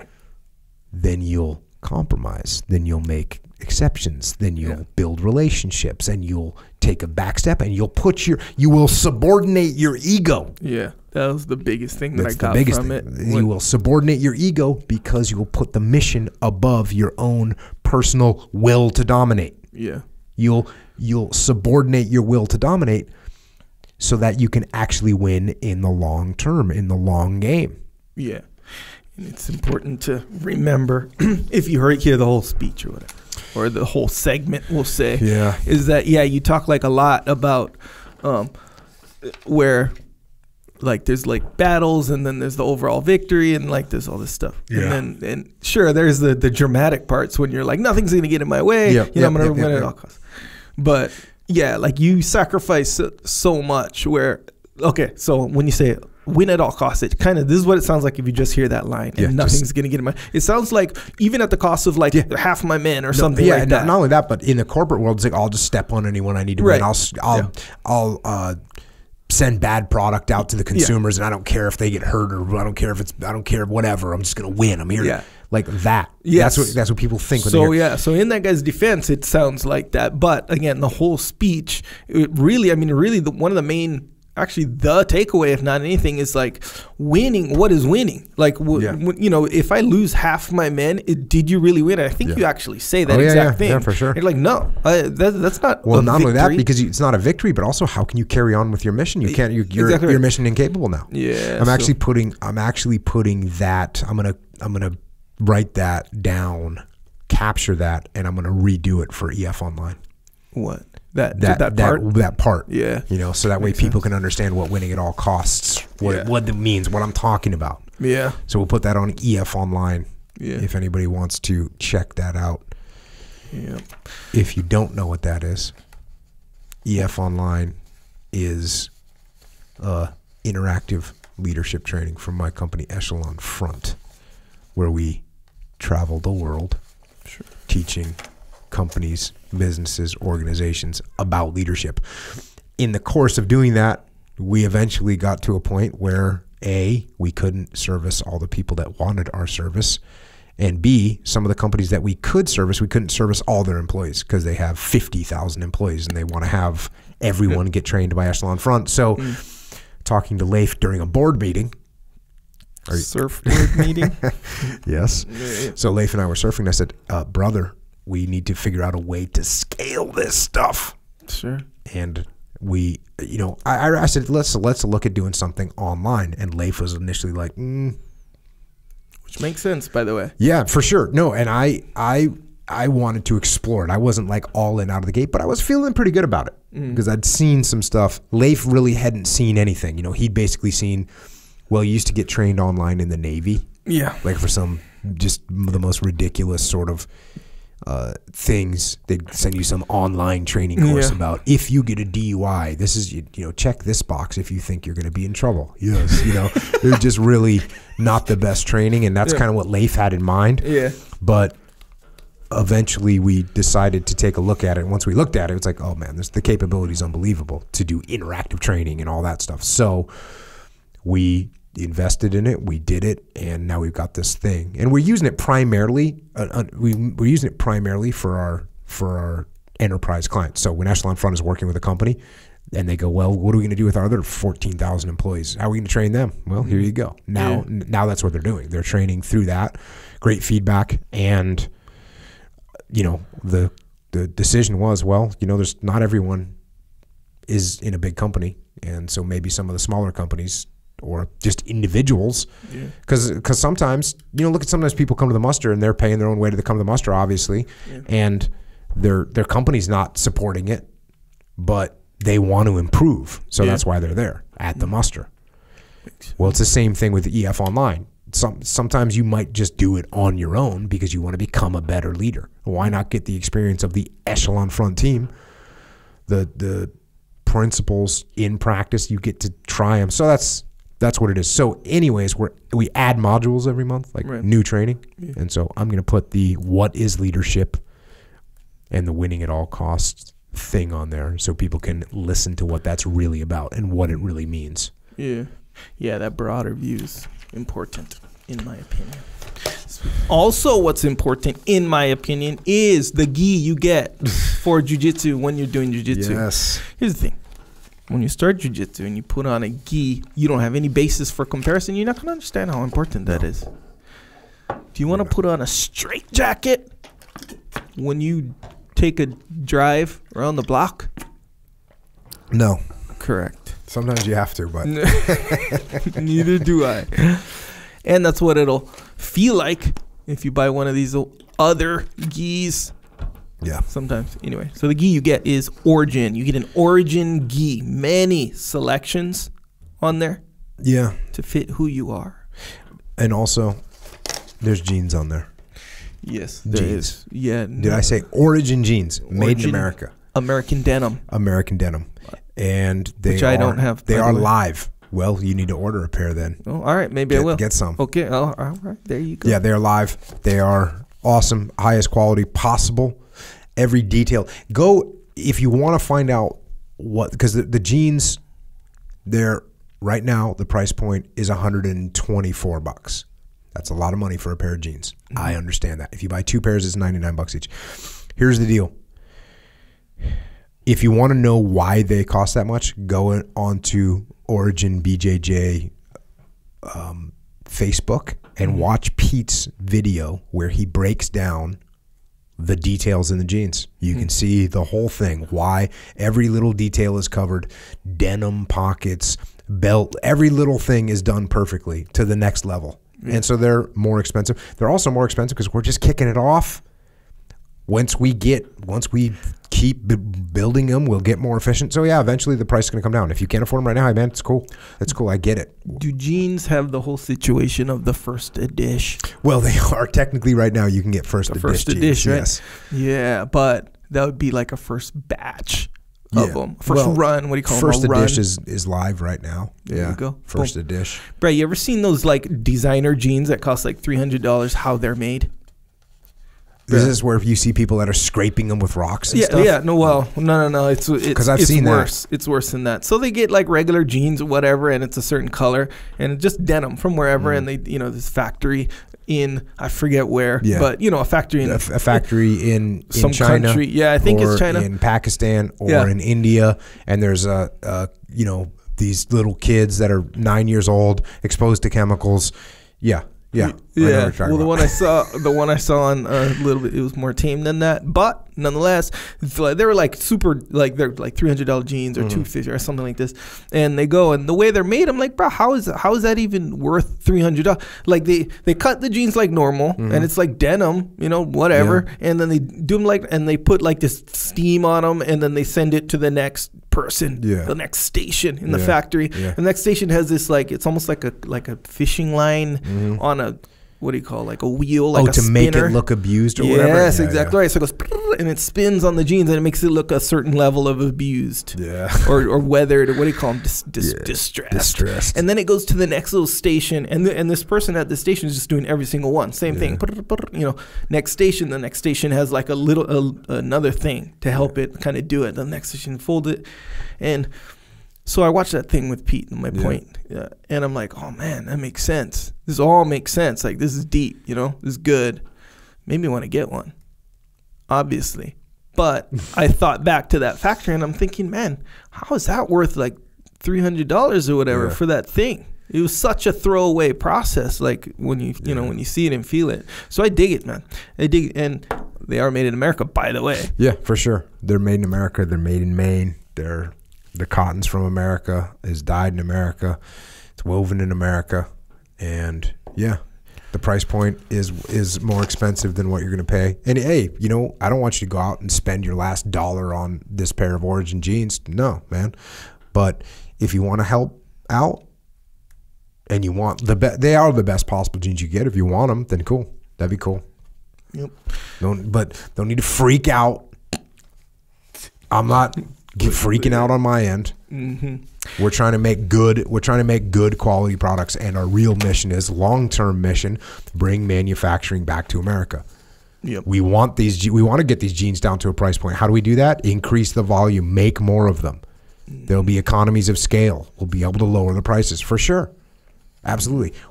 You know what? We talked to some jean people, denim people. They Sure. they they wanted us to charge three hundred dollars for these jeans Yeah. Because they're like, well, you know, these are. Wait, what did they say they were? Premium. Yeah, premium jeans, but there was another word too. Anyways, you know, there's there's people that pay that kind of money for jeans. I'm Right. not one of them. Yeah. No. You know? I mean, they're. I don't know. But anyways, But yeah, either way, well, the good news about the whole situation, including Made in America, they do have other stuff. So, and, and man, I haven't talked about these shorts. So, and I don't know if you notice what I wear all the time, yes, but the only thing I wear is these shorts. Only one. yeah, Straight up. I mean, unless it's like, you know, to train or something like Yeah. this, but like just around is only the origin shorts. I Yeah. forget. Shark, Shark fin, fin. or whatever. Yeah. I have like six pairs of them. And it's like the same thing. So I'm sure it's like, you know, if you go through your routine, like people at the store, they're like, bro, this guy wears the same shorts every day, bro. Well, one of them has a green logo, the other one has a black logo. Mm. Either way, these are literally the best shorts in the like ever made that I've put on. Straight up. Yes. So you can get those. Echo Charlie. There you go. Coming that's made in hot. America. Oh, big time, man. I'm so, that's for real though. Yeah. Well, you also said that about their their joggers. Well, you know, those are the most comfortable, Yeah. for sure. And Yeah. and well, and, and you know what? Did, it, did I show you when I tried on joggers? You told me about it, So yeah. ridiculous. yeah, that the whole idea sounds Yeah. sounds ridiculous. So Yeah. you don't have a jogger. Uh, what do you call Physique? Yeah. What do you need? To, what's a jogger Bro, physique? I- More like skinny I- knees and whatnot. The- Uh. I th- I don't know that I can put my finger on what exactly a jogger physique is, but I can tell you that I don't. You have don't it. have it. I, Yes, sir. I, I confirm that. Yes, so don't worry about the joggers if you're Jocko. But if you're anyone else, those joggers are factually the most comfortable uh, jogger sweat situation clothes in existence currently. currently, They got some supplements too. Uh, joint warfare, krill oil, discipline, discipline. Go. We were on a Skype or a or a yeah this business Skype call today, Sure. and Jason Gardner was on, and he you know you can you have a little video. uh, my little video. I don't know which one. J no little video like Skype Skype. You know what Oh, Skype okay. is? It's Yeah, video okay. comp video teleconferencing. Yeah. Okay, Jason I know Gar- what you mean. Jason okay. Gardner's like, like pulls out his bottle of Discipline Go and opens it up and like takes one and you know Jason's uh, super animated, Yes. you know, and he gets this big wired Yeah. smile on his face because he took a couple hits of the Discipline Go. Sure. Anyways, so we, we got that. Get, if you need to get in the zone, we also have Mulk, mint Mulk, peanut butter Mulk, vanilla Gorilla, the Darkness chocolate, and now live strawberry, strawberry Slayer Mulk. Strawberry Slayer. Oh, Yeah, okay. boy. All right. All right. So let me tell you, get that strawberry. Yeah. Just straight up, get that strawberry. That thing is a dessert. Dang. Okay. So we like. I don't know how. Well, it's it's the the the kids, the Warrior Kid Milk, which Mm. strawberry's awesome. The chocolate's good. The strawberry's awesome. The chocolate's good too. Mm. The strawberry's awesome. And I didn't think I just was telling Brian like, no, hey man, I don't care. Just put a bigger scoop in or whatever. Just reduplicate it. Yeah. But you know, he's like, no, it's gotta have more protein. It's adults. Blah blah blah. Mm. And somehow he made it. It's actually, it's actually better, or at least as good. Might be better. Dang, that's saying a lot. It's so good, dude. It's so good. It's ridiculous. It's a straight up dessert. It tastes like a milkshake, straight up. If you mix it with milk, which is what I mix it with, it tastes like a strawberry milkshake. It tastes better than a strawberry milkshake. So if It's so good. It's ridiculous. Okay, you got a blind taste test. You got all the protein that you need. Mm-hmm. Uh, Here you go, and then you have um, blind taste test. Uh-huh. Right, you got to imagine because Yeah, you know yeah, the yeah. difference. I get it. So you have a, a, a cup of Warrior Kid milk, strawberry, adult. We'll just we'll just say milk, yeah. Strawberry. hmm Right. Which one are you gonna choose? Which one are you you you? you I think I'm gonna go for the adult. I thought you were gonna throw a a, a Haagen Dazs strawberry shake in Oh, there. yeah, but no. here's the deal. I'm not picking the Haagen Dazs. It's too much. it's too much. It's too much. Yeah, that's kind of why I didn't say it. and it's not even it's not even too much in a good way. It's too much in a bad way. right. It's like yeah. Mm-hmm. it's like you don't want to drink it. The strawberry milk, you're like, just pounding it. yeah, guilt free, actually feeling good about things Yeah. afterwards.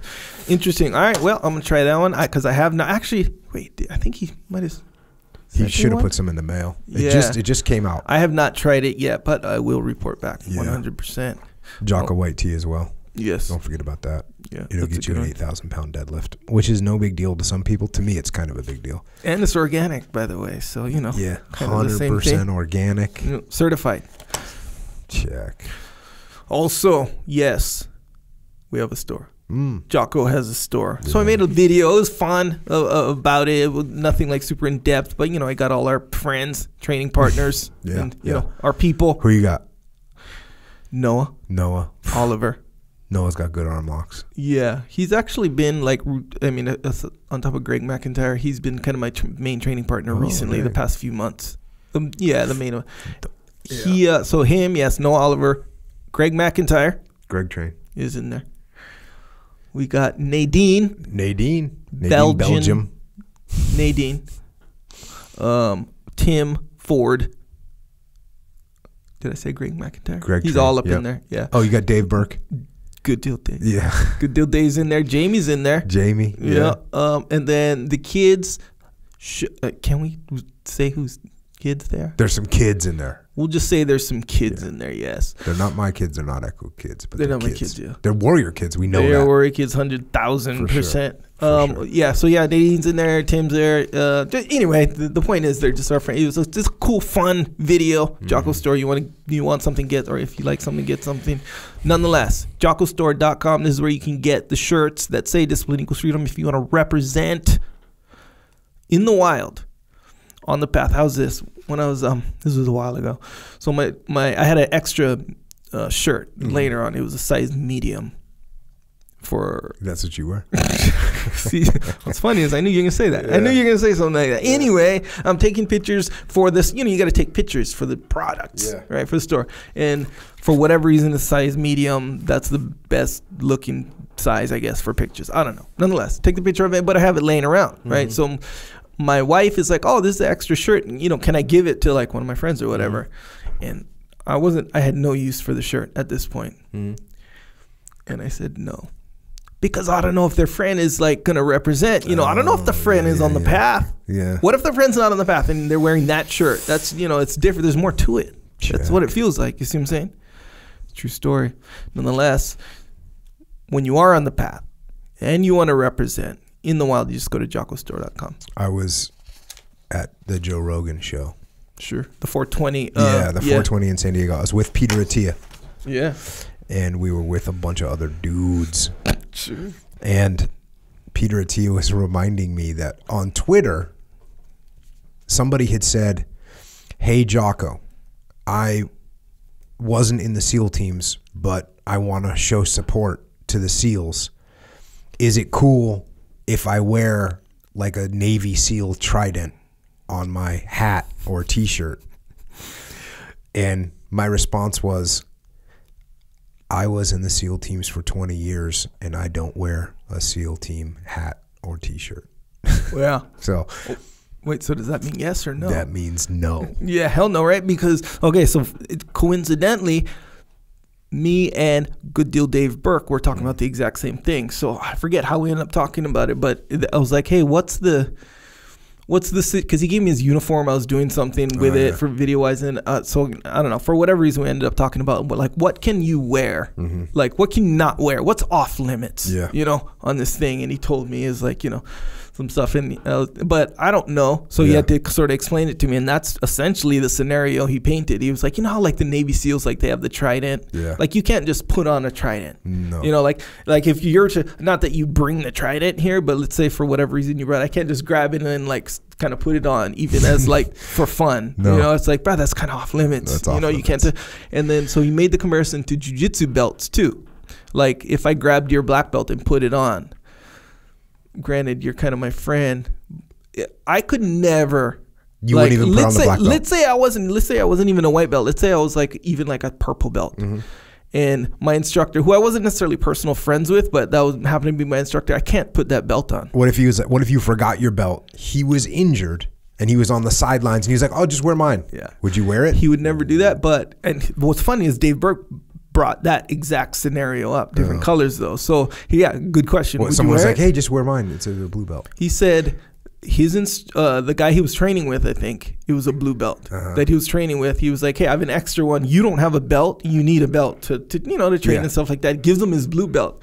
Dave Burke said, out of respect for the guy's like you know suggestion, he wore it, but he did not feel good about it at all. And hurts. I think I think that's kind of the deal where if some higher Yeah. belt gives you, You know what I used to give guys at like in the terms if they started training, I'd Mm. give them a, a piece of one inch tube, tubular nylon, green, Yeah. which is just like to tie their belt. Do you That's like a remember belt. Cameron? He was a Navy SEAL, Yeah, yeah, yeah. right? Cam? Yeah, Cam. Good jujitsu, by the way. Yeah, yeah, good So- wrestler and strong. Yes. So, you know, he came to my. This is the guy. That, you know, Cameron came to my house and tamed the beast. You know what that? You know what that is with kettlebell. Tame the beast. You get the forty-eight kilogram kettlebell, Yes. which you don't have one that big. Yes, I do. do. Wait, 48 is No, you don't. Oh, I have a 90 pound one. So I have one, but Sure. before I had those, Mhm. he ordered one, and he was like in between houses at the time. So he so he ordered and had it sent to my house. He gets it. He comes to my house. First time he's ever picked up a 48 kilogram, 106 pound kettlebell. And there's a thing called taming the beast, which is you do a press with that kettlebell, you do a pistol with that kettlebell, and then you do a pull up with that kettlebell. The first time he ever did it, he did it. He did it right He in front of me. all. Did it right, all front- like no warm up. Yeah. Just boom, just did it. Yeah, and That's that's, saying a lot because he's not a large guy. Like, I'm bigger than him. He's like a, what? Uh, what, 195, yeah. maybe and then not even, maybe 190. Yeah, uh, yeah, I might give him like one. Nonetheless, yeah, that's, Super- that's super good guy. saying a lot. Nonetheless, the point I bring him up is because the first time he ever trained gi, because I trained with him before, Yeah. and I was like, oh, this guy's probably at the time this was years ago. I was like, You're he's a probably- purple belt. I was a purple belt, Yeah. so I was like, this guy's probably like a purple belt too. So you know, whatever. I trained with him. One day he comes in in the gi. Mm-hmm. So I'm like, oh shit, you know, yeah, that little party is like kind of like, oh yeah, you know, let me confirm, you know, what. But he has a piece of that green, I that dark green around his. And here's the thing: Yeah. it doesn't just stand out because Yeah. it's like it's kind of dark or whatever. Yeah. But you see new guy come, you know, because he's sort of, you know, how when you come and train for the first time in gi in some class, it's kind of like most of those people they kind of go there from. Yeah. exactly right. But this guy's a new guy. I knew who he was, so I was like looking at him like, okay, that's obviously a military piece of equipment. It's not a belt. it was funny the looks on everyone's face though, like Yeah. this, like they're kind of looking at each other, like, Yeah, what can like you do that? You know, like what's crazy going because the whole world gone crazy. world. Yeah, it's really funny, but that's how rigid the belt situation is, though. Yes. That's why you can't just grab a guy's belt and as I know people, not specific people, but it would stand to reason. Put it that way, it would stand to reason that even as a joke, if I grabbed like You know what's funny? As a joke. I've been like, here, just wear mine. Like some people, you know, I've just been like giving people my black belt, like, Yeah. oh, you know, like a like a blue belt or a purple. Here, you just wear mine, and I give it to them and like like awkwardly, Yeah, awkwardly make them do it. But that's that how that's the dynamics of that, you know. before I really knew Same Jeff. Glover. Yeah. He came down here and did a seminar, Mhm. and he's like, "Hey, I don't have a belt," and I was like, "Yeah, you can use mine." And I was re- I was actually worried Yeah, I because remember that. I was I've only had one belt. Yeah. I've only had one belt my whole time, like one black belt, Mm-hmm. and I was worried. I was like, "Dang." I mean, not that I thought he was gonna like steal it, but I just was afraid. Oh, you know, he's gonna throw. You know, he'll he'll put Yeah. it in his bag, and next thing you know, it's in Santa Barbara, and the next thing you know, I'll never see my belt again, my special belt. Yeah, I was there for that day when Yeah. he did it. because I longer. wasn't here though. I wasn't here. That was the or I like was here and I had to go, Yeah. and so I didn't get to. But he he hung it back up. Jeffy Glover. Yeah. took care of his I brother. took a picture of him that day. Oh, really? We'll have Yeah, to see if he's wearing my belt. He is wearing your belt in oh, the yeah, picture, and he's doing this, and that picture ended up being used for a bunch of different Really? stuff. Yeah, Oh, that's kind of cool. Then my belt made it kind of Yep. famous with Jeffy. if you notice, like the belt is a little bit long. It's funny. Oh yeah, because I'm thicker than he is. yeah, well, you have like a A. What you know, the belt comes. A three. Yeah. And he's probably he's an A one for sure because he's Yeah. 155. Yep, there it is. So don't do that. Don't There don't was wear a guy. There was a guy at SEAL Team Two who is a just an incredibly well respected guy in the Daves. and he had I think he had two sons and he was giving them like a like a hat like a SEAL Team 2 hat or something that had a trident on it. Mm-hmm. Or he had an old one that he was gonna, giving to his sons, like, "Hey, I'm not going to wear this, and it's too old." And he made them cut the trident off of it if they wanted to wear it. I was like, "Yes, yeah, man. legit." I dig it, and there's all those kinds of things, you know. Like if even uh, on a super lower level, like you know, if you made it through some little thing, hmm like a I don't know, like one of these Spartan races or something, that Yeah. you only get this shirt or hat if you did it. Yeah, You know, and even then, there's a little. I mean, it's it's way more loose for sure. Yeah. But you know, like your wife puts it on or something, you're like, people like to represent that. Yeah, man. I know That's my up. daughter. I know my daughter representing that state, state wrestling oh, championships. Oh yeah. Those kids up there, they're buying those shirts and sweatshirts like I read about. What if you came home and your wife had your trident on? Why would my wife have my Just because she's trying to represent. Well, I'll just take it from her. No, actually, there's a thing where there's a thing where like a seal will give his wife like a little necklace with a trident on it. Yeah. It's like, hey, you know, that's sort of their. Why? So she doesn't take his. Be No. I don't think she'd be trying to take his, but I think it's just you know little appreciation. Yeah, fully. But no, but no, my uh, Your wife knows what's up. Yeah, no, my wife doesn't have one of those. Yeah, I know she doesn't. Makes sense. So that's kind of how it is, right? With the shirts from Jocko's store, kind of. I mean, not to that level, but I put it this way: if I see someone wearing, representing, I know that they're representing. I know they're on the path Yeah. right there. They're not just some guy who, person or whatever that's not on the path. It doesn't seem like that. to Oh, they're me. definitely in the game Yeah, for sure. Yeah, They're definitely in the game. that's what it feels If they're feels wearing a shirt. Boom. So there you go. Also, subscribe to the podcast if you haven't already. I know seems obvious, but apparently it's not as obvious from what I gather. Nonetheless, subscribe if you haven't already. Yeah, and by the way, that's if you get a piece of gear, it supports the podcast. Is that important? Well, is it important? Hmm, depends on what you mean by important. So yes, yeah. I mean, it's important Hey, to let people know that the one additional bonus of representing is you're actually helping out the podcast support. We're going to get a new table, by the way, Oh yeah. So which has been ordered. Yeah, this one at wiggles a lot. It's ridiculous. Yeah. So, Echo Charles's table. well, this is one of those things where, like, a, an apt punishment would be you had to bring this to your house and use it as your dining room table Holy for a cow. year. Oh my gosh. No. Yeah. that- Yeah. Yeah. Why would you even think this is a good table? I, you know, the picture looked nice. When I got Check. All right, so we're gonna get a new table. If you buy a T-shirt, we can get a new table that's not gonna fall down Yeah. and all that. But we mm-hmm. appreciate that support too. And when you're subscribing to the podcast, check out the Warrior Kid podcast. The Warrior Kid podcast is aimed at kids, but I promise you that Uncle Jake has lessons for everyone. And also, we have a kid, a Warrior Kid named Aiden, and he's making soap here in California. IrishOaksRanch.com if you want to get some some soap, some Jocko soap, so that you can stay clean. The guy he has a new one too, Trooper soap. Trooper soap, Yeah, yeah. different Has a rope deal. on it. soap and a rope. Piece of 550 cord, by the way. Layers for sure. Layers for sure. Yeah, yeah, that's some good stuff. By the way, also YouTube, we do have a YouTube channel. If you're interested in the video version of this podcast, if you want to see what this table looks like, the weak table. it looks okay. Actually, can't don't it know. You can't really see yeah. it. Yeah. Nonetheless, you can see how wiggly all the books on Yeah. the table and the microphone Yeah. kind of. Nonetheless, if you're interested in the video version of this podcast, that's where you can find it. Also, some excerpts on there. If you don't want to watch the whole podcast at once, you know, some excerpts on there, little lessons that you may have found important.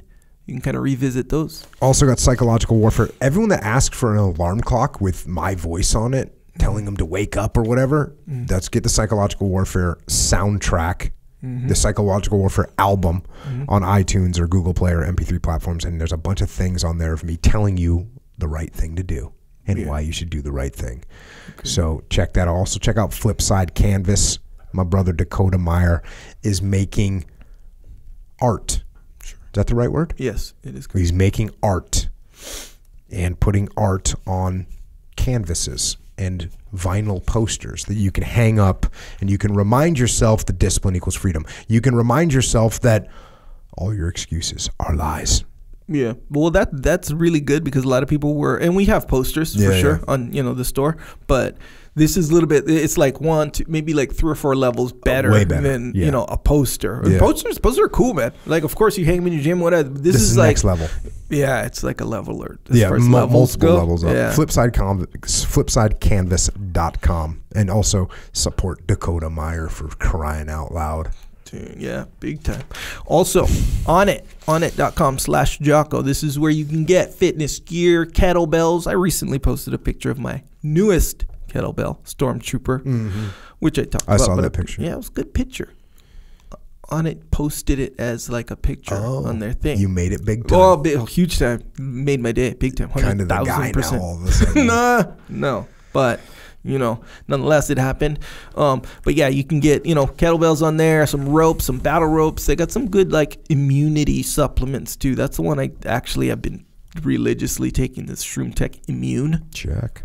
Yeah, you got to take that one, especially if you're doing travel. Nonetheless, a lot of good, good stuff on there. Onnit.com slash Jocko. have a little book coming out called Way of the Warrior Kid 3 Where There's a Will. It is available for pre order right now. If you want to help me and you want the book, please pre order it so that I know how many to print.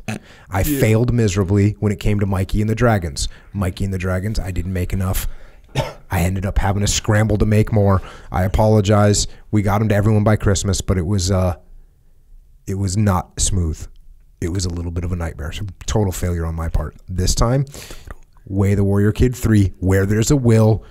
Check out that book. Pre-order it now. It's coming out May 28th, by the way. So we're almost there. But I can make more quickly. Quickly enough to have them ready for you if you pre-ordered. Anyways, also The Way of the Warrior Kid and Marc's Mission. Those are the first two books in that series. Mikey and the Dragons, best book ever for little kids in the history of ever. That's confirmed, by the way. Mm-hmm. And the field manual, the Discipline Equals Freedom field manual. That's a book about how to get after it, no matter where you are in your life.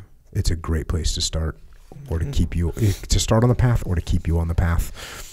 The audio version of that is on iTunes, Amazon Music, Google Play. Extreme Ownership, first book I wrote with my brother Leif Babin. The Dichotomy of Leadership, second book I wrote with my brother Leif Babin. Echelon Front, that's our leadership consultancy. We solve problems through leadership. That's what we do. Go to echelonfront.com. The Muster, May 23rd and 24th, sold out, done. That's in Chicago. September 19th and 20th in Denver. That one is going to sell out. So is Sydney, December 4th and 5th. If you want to come to the muster, extremeownership.com. That's where the details are. They're all going to sell out. All of them have sold out, and all of them will sell out.